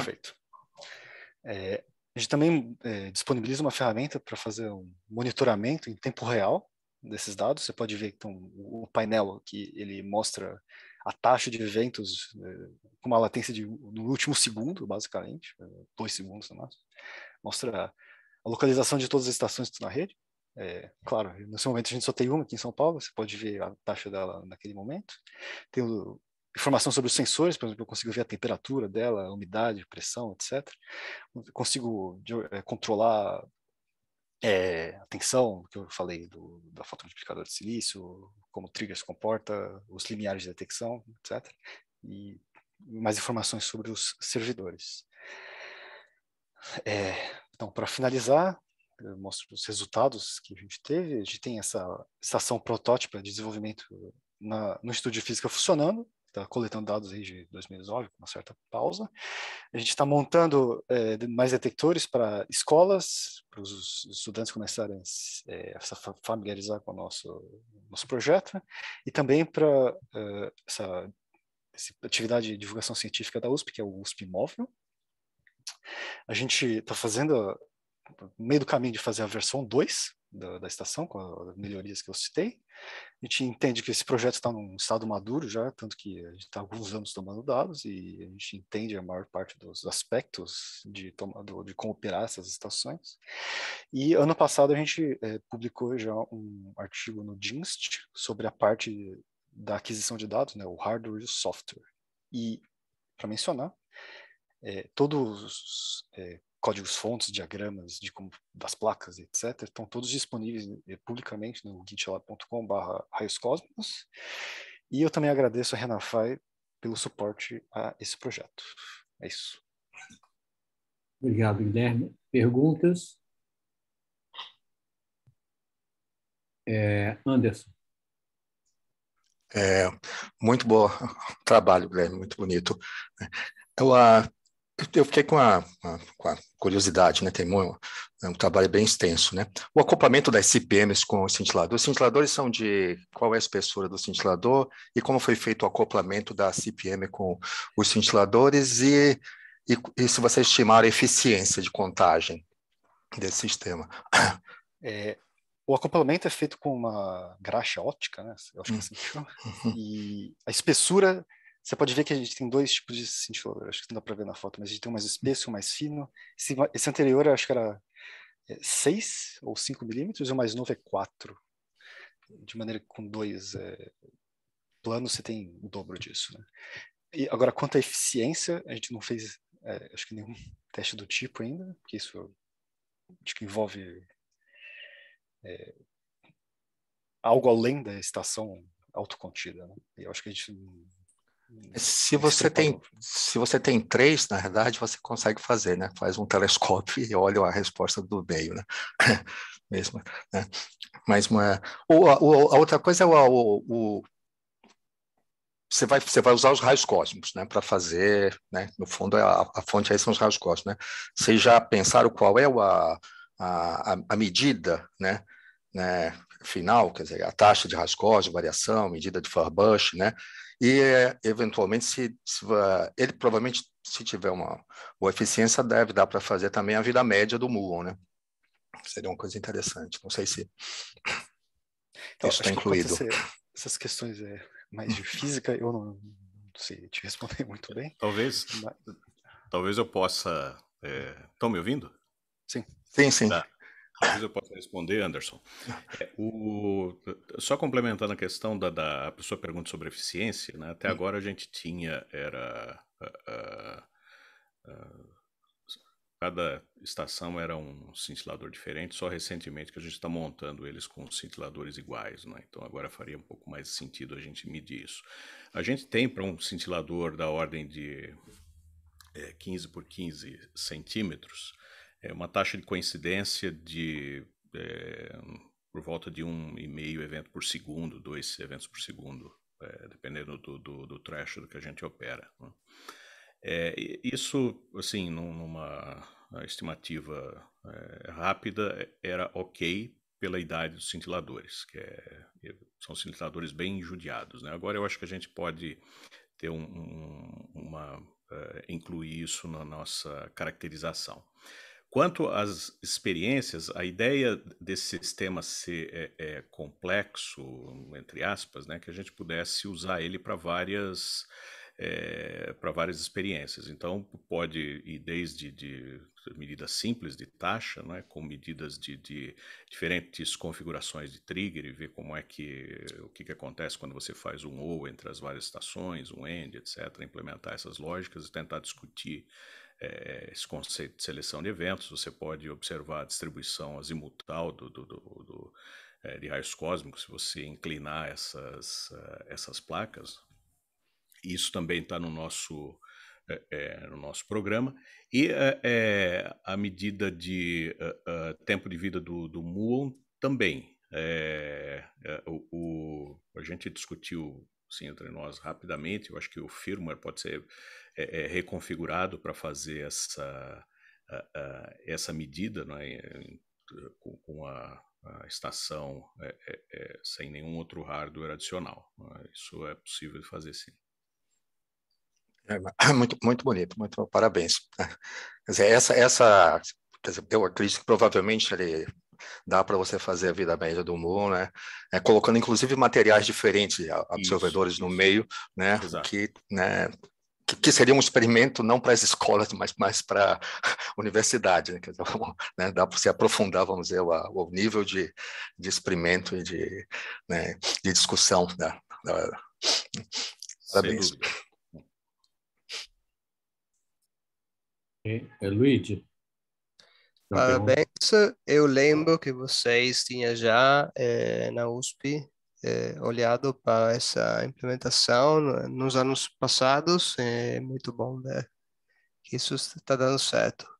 E eu tinha uma pergunta para Guilherme. Eu dei uma olhada no GitLab que vocês indicaram e a, es a esquemática do front-end tem uns Gerbers. Eu acho que teve um tem um upload do, do file errado, não sei. Ah, tá. É, se você puder me indicar isso por e-mail, eu posso Sim, ver. claro. Tá. Eu vou enviar. É, é, é para estar tá tudo certo, né? desculpa.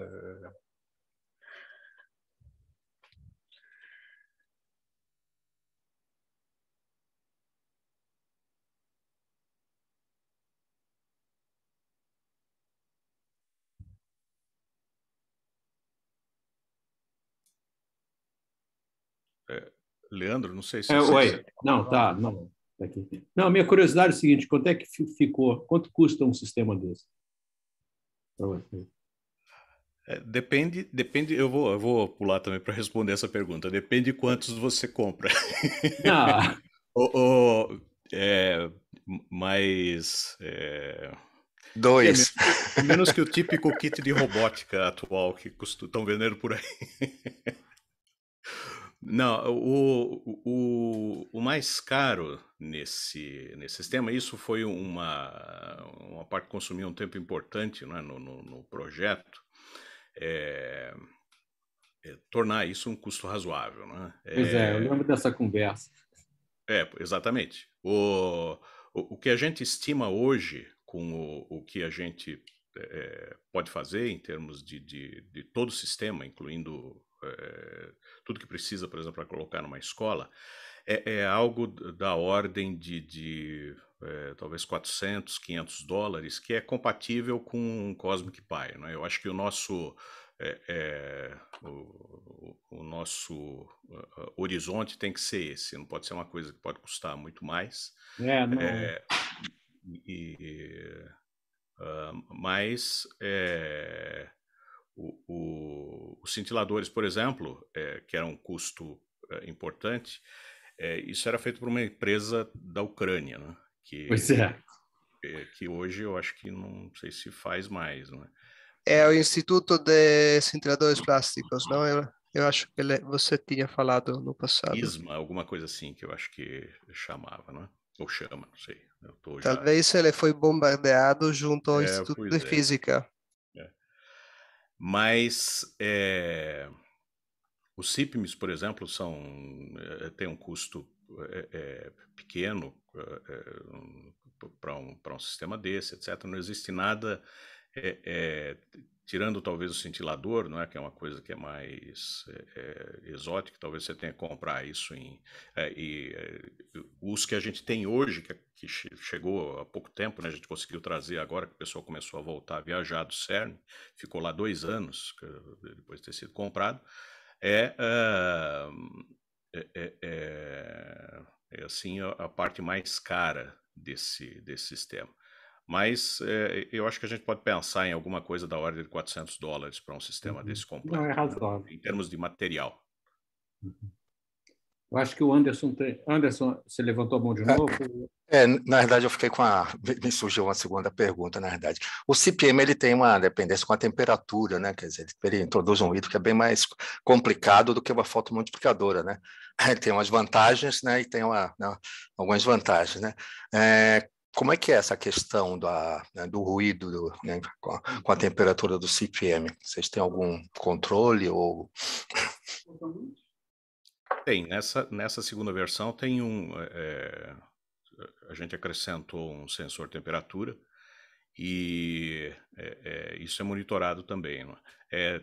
num teste uh, de, de, laboratório, a gente fez uma variação de, de uh, 4, 5 graus, alguma coisa assim, e, e não notou nenhuma, uh, nenhuma, nenhum impacto importante no, no, no, desempenho desse sistema como ele é, não é? É, mas, obviamente, é uma coisa que pode ser estudada. Se alguém colocar isso, por exemplo, debaixo de um forro, numa escola, debaixo de um telhado no, no Rio de Janeiro, alguma coisa assim, é, essa temperatura vai aumentar muito. Isso tem que ser é, é monitorado, mas existe sim esse, esse controle. E aí isso é, deve ser compensado até certo ponto né, pelo, pelo bias do, do, do, do sensor. Ok, obrigado. Ok. Então, Guilherme, acho que podemos passar para outra apresentação sua, né? Agora do. Aí dá para ver? Ah. O Atlas. Ok. Então tá. vamos lá, 15 é, minutos. Na segunda apresentação, eu falo sobre é, o High Granularity Time Detector do Atlas, que vai ser colocado no próximo Long Shutdown. E para contextualizar, eu começo mostrando esse, o plano do Highland Mosby LHC, e vocês veem que a gente está aqui no começo de 2002, mas é, começando em 2026, esse long shutdown, shutdown vai é, fazer tanto o upgrade do, do, acelerador quanto dos experimentos Atlas e CMS para poderem é, lidar com essa nova luminosidade que o LHC vai entre, entregar. Né?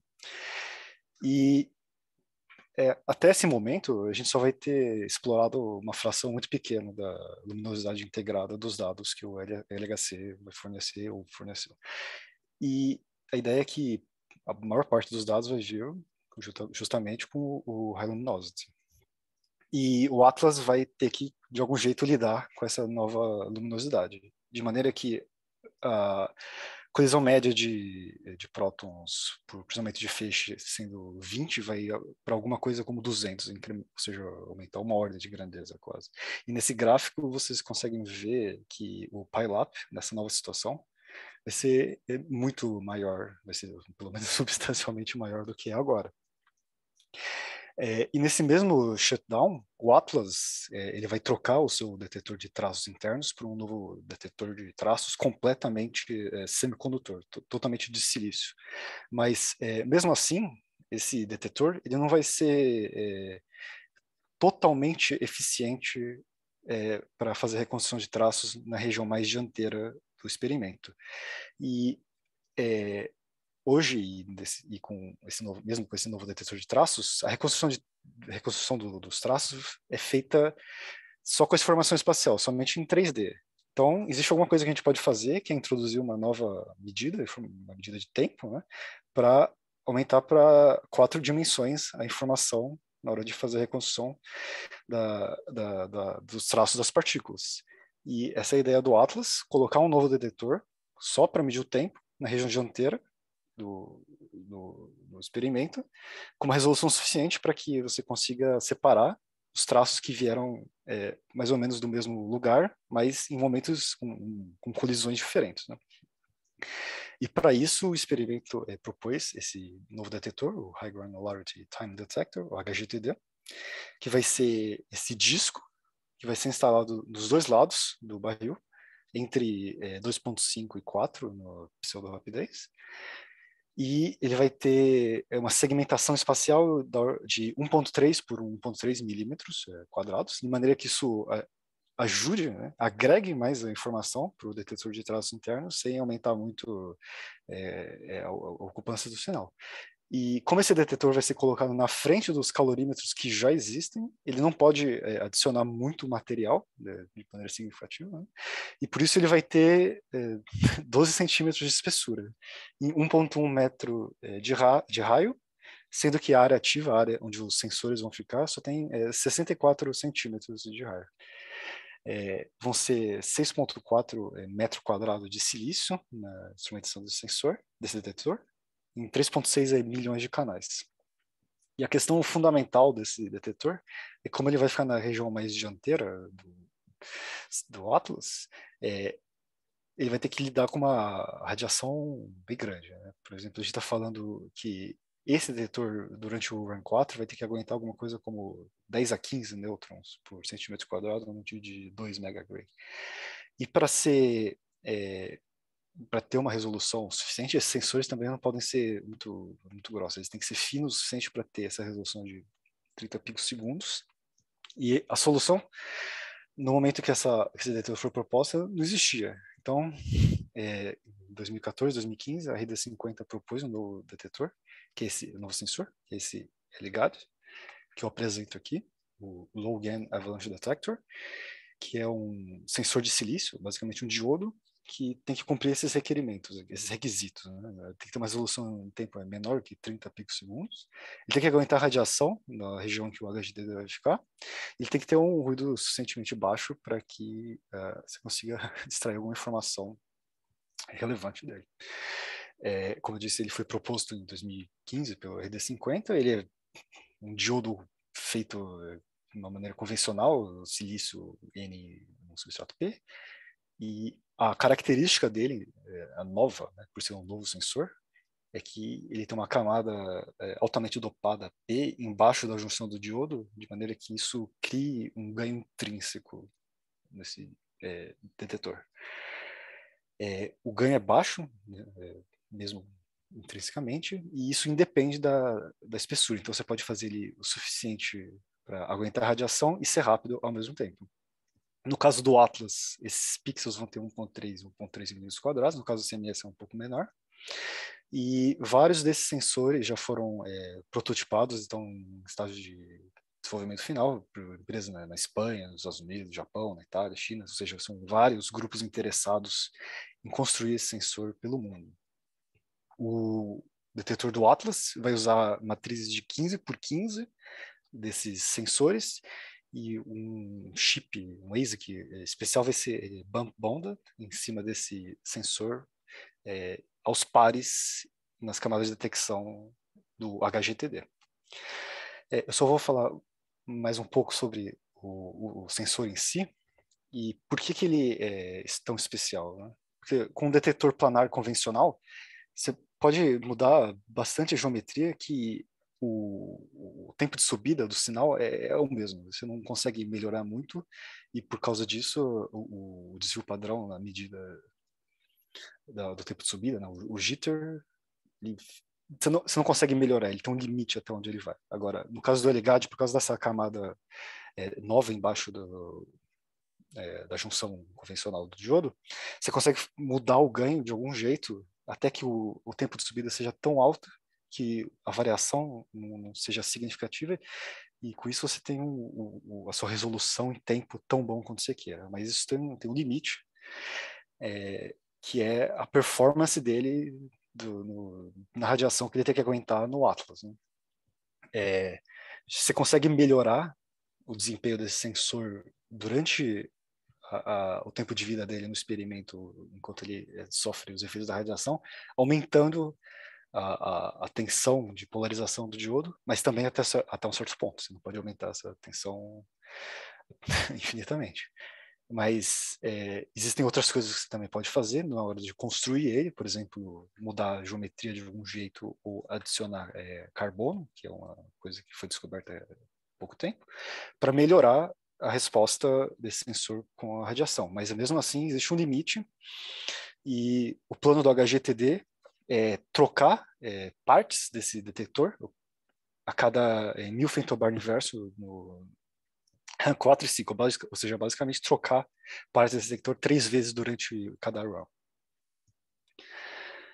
É, agora eu começo a falar sobre as atividades que o grupo de São Paulo faz dentro do, do, do, subgrupo de sensores, a parte de pesquisa e desenvolvimento do, do grupo de sensores do HGTD, e são atividades de caracterização desses sensores para os sensores que foram fabricados por todas aquelas empresas que eu mostrei. Eu mostro é, por exemplo, curvas IV e CV que foram feitas na Universidade de São Paulo, em cooperação com a FEI, em sensores de um pé, de matrizes, etc.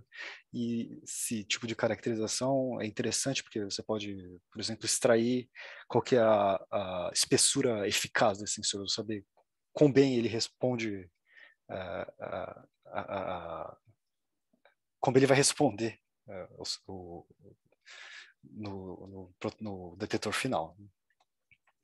Outra coisa que a gente também faz é medir o timing desses sensores, né, que é a parte mais importante, talvez. Então, para isso, a gente construiu essa placa em que a gente coloca o sensor bem aqui no meio. A gente tem é, quatro canais de amplificação, de dois estágios cada. Nesse primeiro estágio, a gente tem um transistor bipolar de 110 GB, um amplificador operacional de 7 GB para extrair para estimar a carga que o sensor recebeu durante a passagem da partícula. Nessa placa a gente mediu a, a corrente é, escura, assim, a corrente sensor polarizado, a gente viu alguma coisa com 100 nanoamperes, então é, é bem razoável porque os outros grupos estão fazendo. A gente calibra essa placa com um sinal de 8 picosegundos de jitter para remover o efeito da eletrônica do, do, sinal que a gente tem. Por enquanto a gente só conseguiu fazer testes a temperatura ambiente, mas você vê que a placa tem um thermal link, né, um, lugar para você colocar é, um material para esfriar toda essa região. E a gente está fazendo esses testes usando uma fonte de Strontium 90, que é uma fonte beta. E você Nesse gráfico consegue ver que a gente conseguiu, mesmo a temperatura ambiente, uma resposta do sensor em 30 segundos, que já é suficiente, é mesmo a temperatura ambiente, porque ele foi proposto. É, mas, como eu disse, a parte mais importante desse projeto talvez seja entender os efeitos da radiação nesses sensores, e então a gente, em cooperação com o IPEM, a gente coloca esses sensores no reator e é, por exemplo, nesse caso desse sensor que eu estou mostrando, a gente colocou a fluência máxima antes da troca desse anel, que é 10 a 15 nêutrons é, por centímetro quadrado. Você vê que a curva, a corrente que esse sensor precisa para operar aumenta muitas ordens de grandeza. E esse é um dos, é, dos motivos pelo qual a gente vai ter que trocar o sensor, a parte do detector durante a vida de operação do Atlas. É, outra coisa importante que a gente tem que fazer é fazer essas medidas que eu acabei de mostrar, mas é a temperatura que vai ser operado os sensores. O HDD vai funcionar alguma coisa menos 30 ou menos 40 graus, então a gente precisou construir um aparato para resfriar esses sensores a essa temperatura. Então, a gente fez a caixa de alumínio, então a parede dupla de alumínio, usou um compressor de, convencional terço de HP para esfriar isso. A gente consegue chegar é, mais frio ainda do que o necessário, a gente consegue mais frio do que menos 40 graus gente consegue fazer isso para tensões tão altas quanto 1 kV, já que conforme o sensor é irradiado, a gente precisa aumentar o bias e essas tensões podem chegar a centenas de volts. E, claro, a gente precisa se preocupar com a condensação do ar. E outra coisa que a gente precisa se preocupar também é que é, o sensor precisa ser resfriado ao mesmo tempo que ele é polarizado com essas centenas de volts. Então, a gente precisa construir um, uma, uma, uma, um thermal link que se acoplasse a nossa placa de, de time, mas fosse isolada eletricamente. Então a gente teve que fazer essa, esse isolante de safira aqui no, no nosso sistema. É, esse, esse, eu mostro uma certa caracterização dessa câmera que a gente construiu. A gente colocou um, é, um elemento Peltier para esfriar mais frio do que esse compressor convencional de geladeira permitia a gente para chegar nesses menos 50, menos 40 graus. E a gente fez toda a parte do controle, aquisição de dados, escrita no banco de dados, análise, etc. E é, a gente tem essa, a mesma ferramenta que eu mostrei para o projeto de raios cósmicos, para o nosso sistema, que a gente tem um sistema de monitoramento em tempo real, que persiste os dados no banco de dados. E acho que não sei se fica claro, mas é, dá para a gente fez o teste e chegou num ponto de orvalho menor do que menos 40 graus, que com, com aquela temperatura que eu mostrei, é compatível com qualquer teste que a gente, que a gente queira fazer perante é, a colaboração. E só para é, contextualizar esse gráfico, eu, eu, eu, a gente fez esse sistema e controlou ele para ter no máximo meio grau de variação três horas nesse range de menos 30, menos 50 graus, ou seja, é, é, é suficiente para os testes que a gente tem que fazer. É, mais atividades que o, o, o, grupo fez, dessa vez no CERN, é participar do teste BIM desses sensores e da montagem do demonstrador do HGCD. Então, em 2021, a gente participou no North Area, no, no SPS, no teste BIM com os aligados, é, com pinos de 120 GeV. Essa é, montagem, esse teste BIM, permitiu fazer uma descoberta, que é o, o, máximo campo elétrico que você pode ter num sensor com essa geometria. Então, basicamente, os sensores é, já estão muito próximos do, do, final do pesquisa e desenvolvimento e começando a entrar em produção. E por causa disso, a gente começa a construir também o demonstrador desse detector. A gente tem passos intermediários que foram feitos em 2021, que é a parte de é, entender a, a questão térmica desse detector e a parte da aquisição de dados.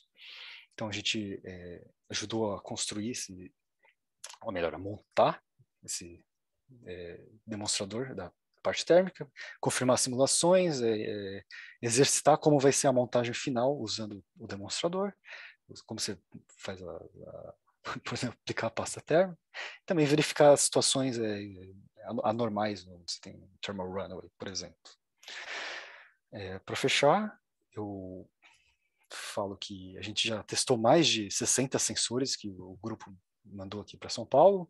A gente está recebendo mais sensores agora, sensores da FBK, que vão ser muito próximos com muito próximos do sensor final que vai ser instalado. Inclusive, a gente vai começar a testar matrizes maiores, por exemplo, 5x5. É, por causa disso, está é, tá envolvido em atividades para se tornar um, um facility, um, um, lugar que o, grupo de sensores do HGTD pode mandar os sensores para fazer essas validações, as caracterizações para o é, detetor final. E a gente também é, colabora com os, outros subsistemas do HTD, por exemplo, a montagem do, do, demonstrador, a montagem do detetor na parte final e comissionamento em 2026 durante o long shutdown. E é isso. Obrigado, Guilherme. É, perguntas?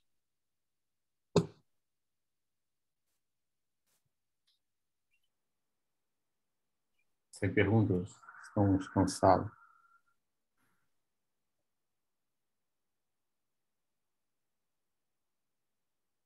Bom, acho que o... gastamos as energias antes. Então, obrigado, Guilherme interessante. Eu acho que o, o, é, esse é o caminho que a gente, quer dizer, na discussão de, de hoje de manhã, que ficou bem claro que esse é um caminho que a gente deve seguir na aglutinação e, quem sabe, na capacitação para desenvolver, construir mais coisas aqui. Obrigado, Guilherme. Então, acho que a sessão de instrumentação está encerrada. O workshop continua amanhã, nove horas, com representante da discussão com representante da FINEP e, na sequência do dia, os capítulos do projeto que a gente pretende fazer. Marcelo, quer deixar algum recado? Não, acho que só convidar realmente todo mundo para participar amanhã. Eu diria que amanhã é o dia mais importante do, do workshop, quando a gente vai discutir esse projeto nacional, né? Então, muito importante a, a participação de todos. A ideia é justamente é, foi criar essa sessão para abrir essa oportunidade para todo mundo participar, se voluntariar, principalmente, ajudar a produzir o, o projeto. A gente vai ter né, esse representante da FINEP falando no início, quem sabe ele traz boas notícias, e a gente já se anima a, a realmente fazer esse projeto. Mas eu acho muito importante que a gente tenha isso pronto o mais rápido possível para mostrar que a nossa comunidade é, consegue se mobilizar, consegue se coordenar para ter algo conjunto e, e né, um certo, digamos, profissionalismo aí para esses projetos. Então, eu acho muito importante que todo mundo participe amanhã. Eu diria que é realmente a parte mais importante desse workshop, sessão mais importante. Ok, então, obrigado a todos. Tchau e até amanhã. Falou, até amanhã, um abraço.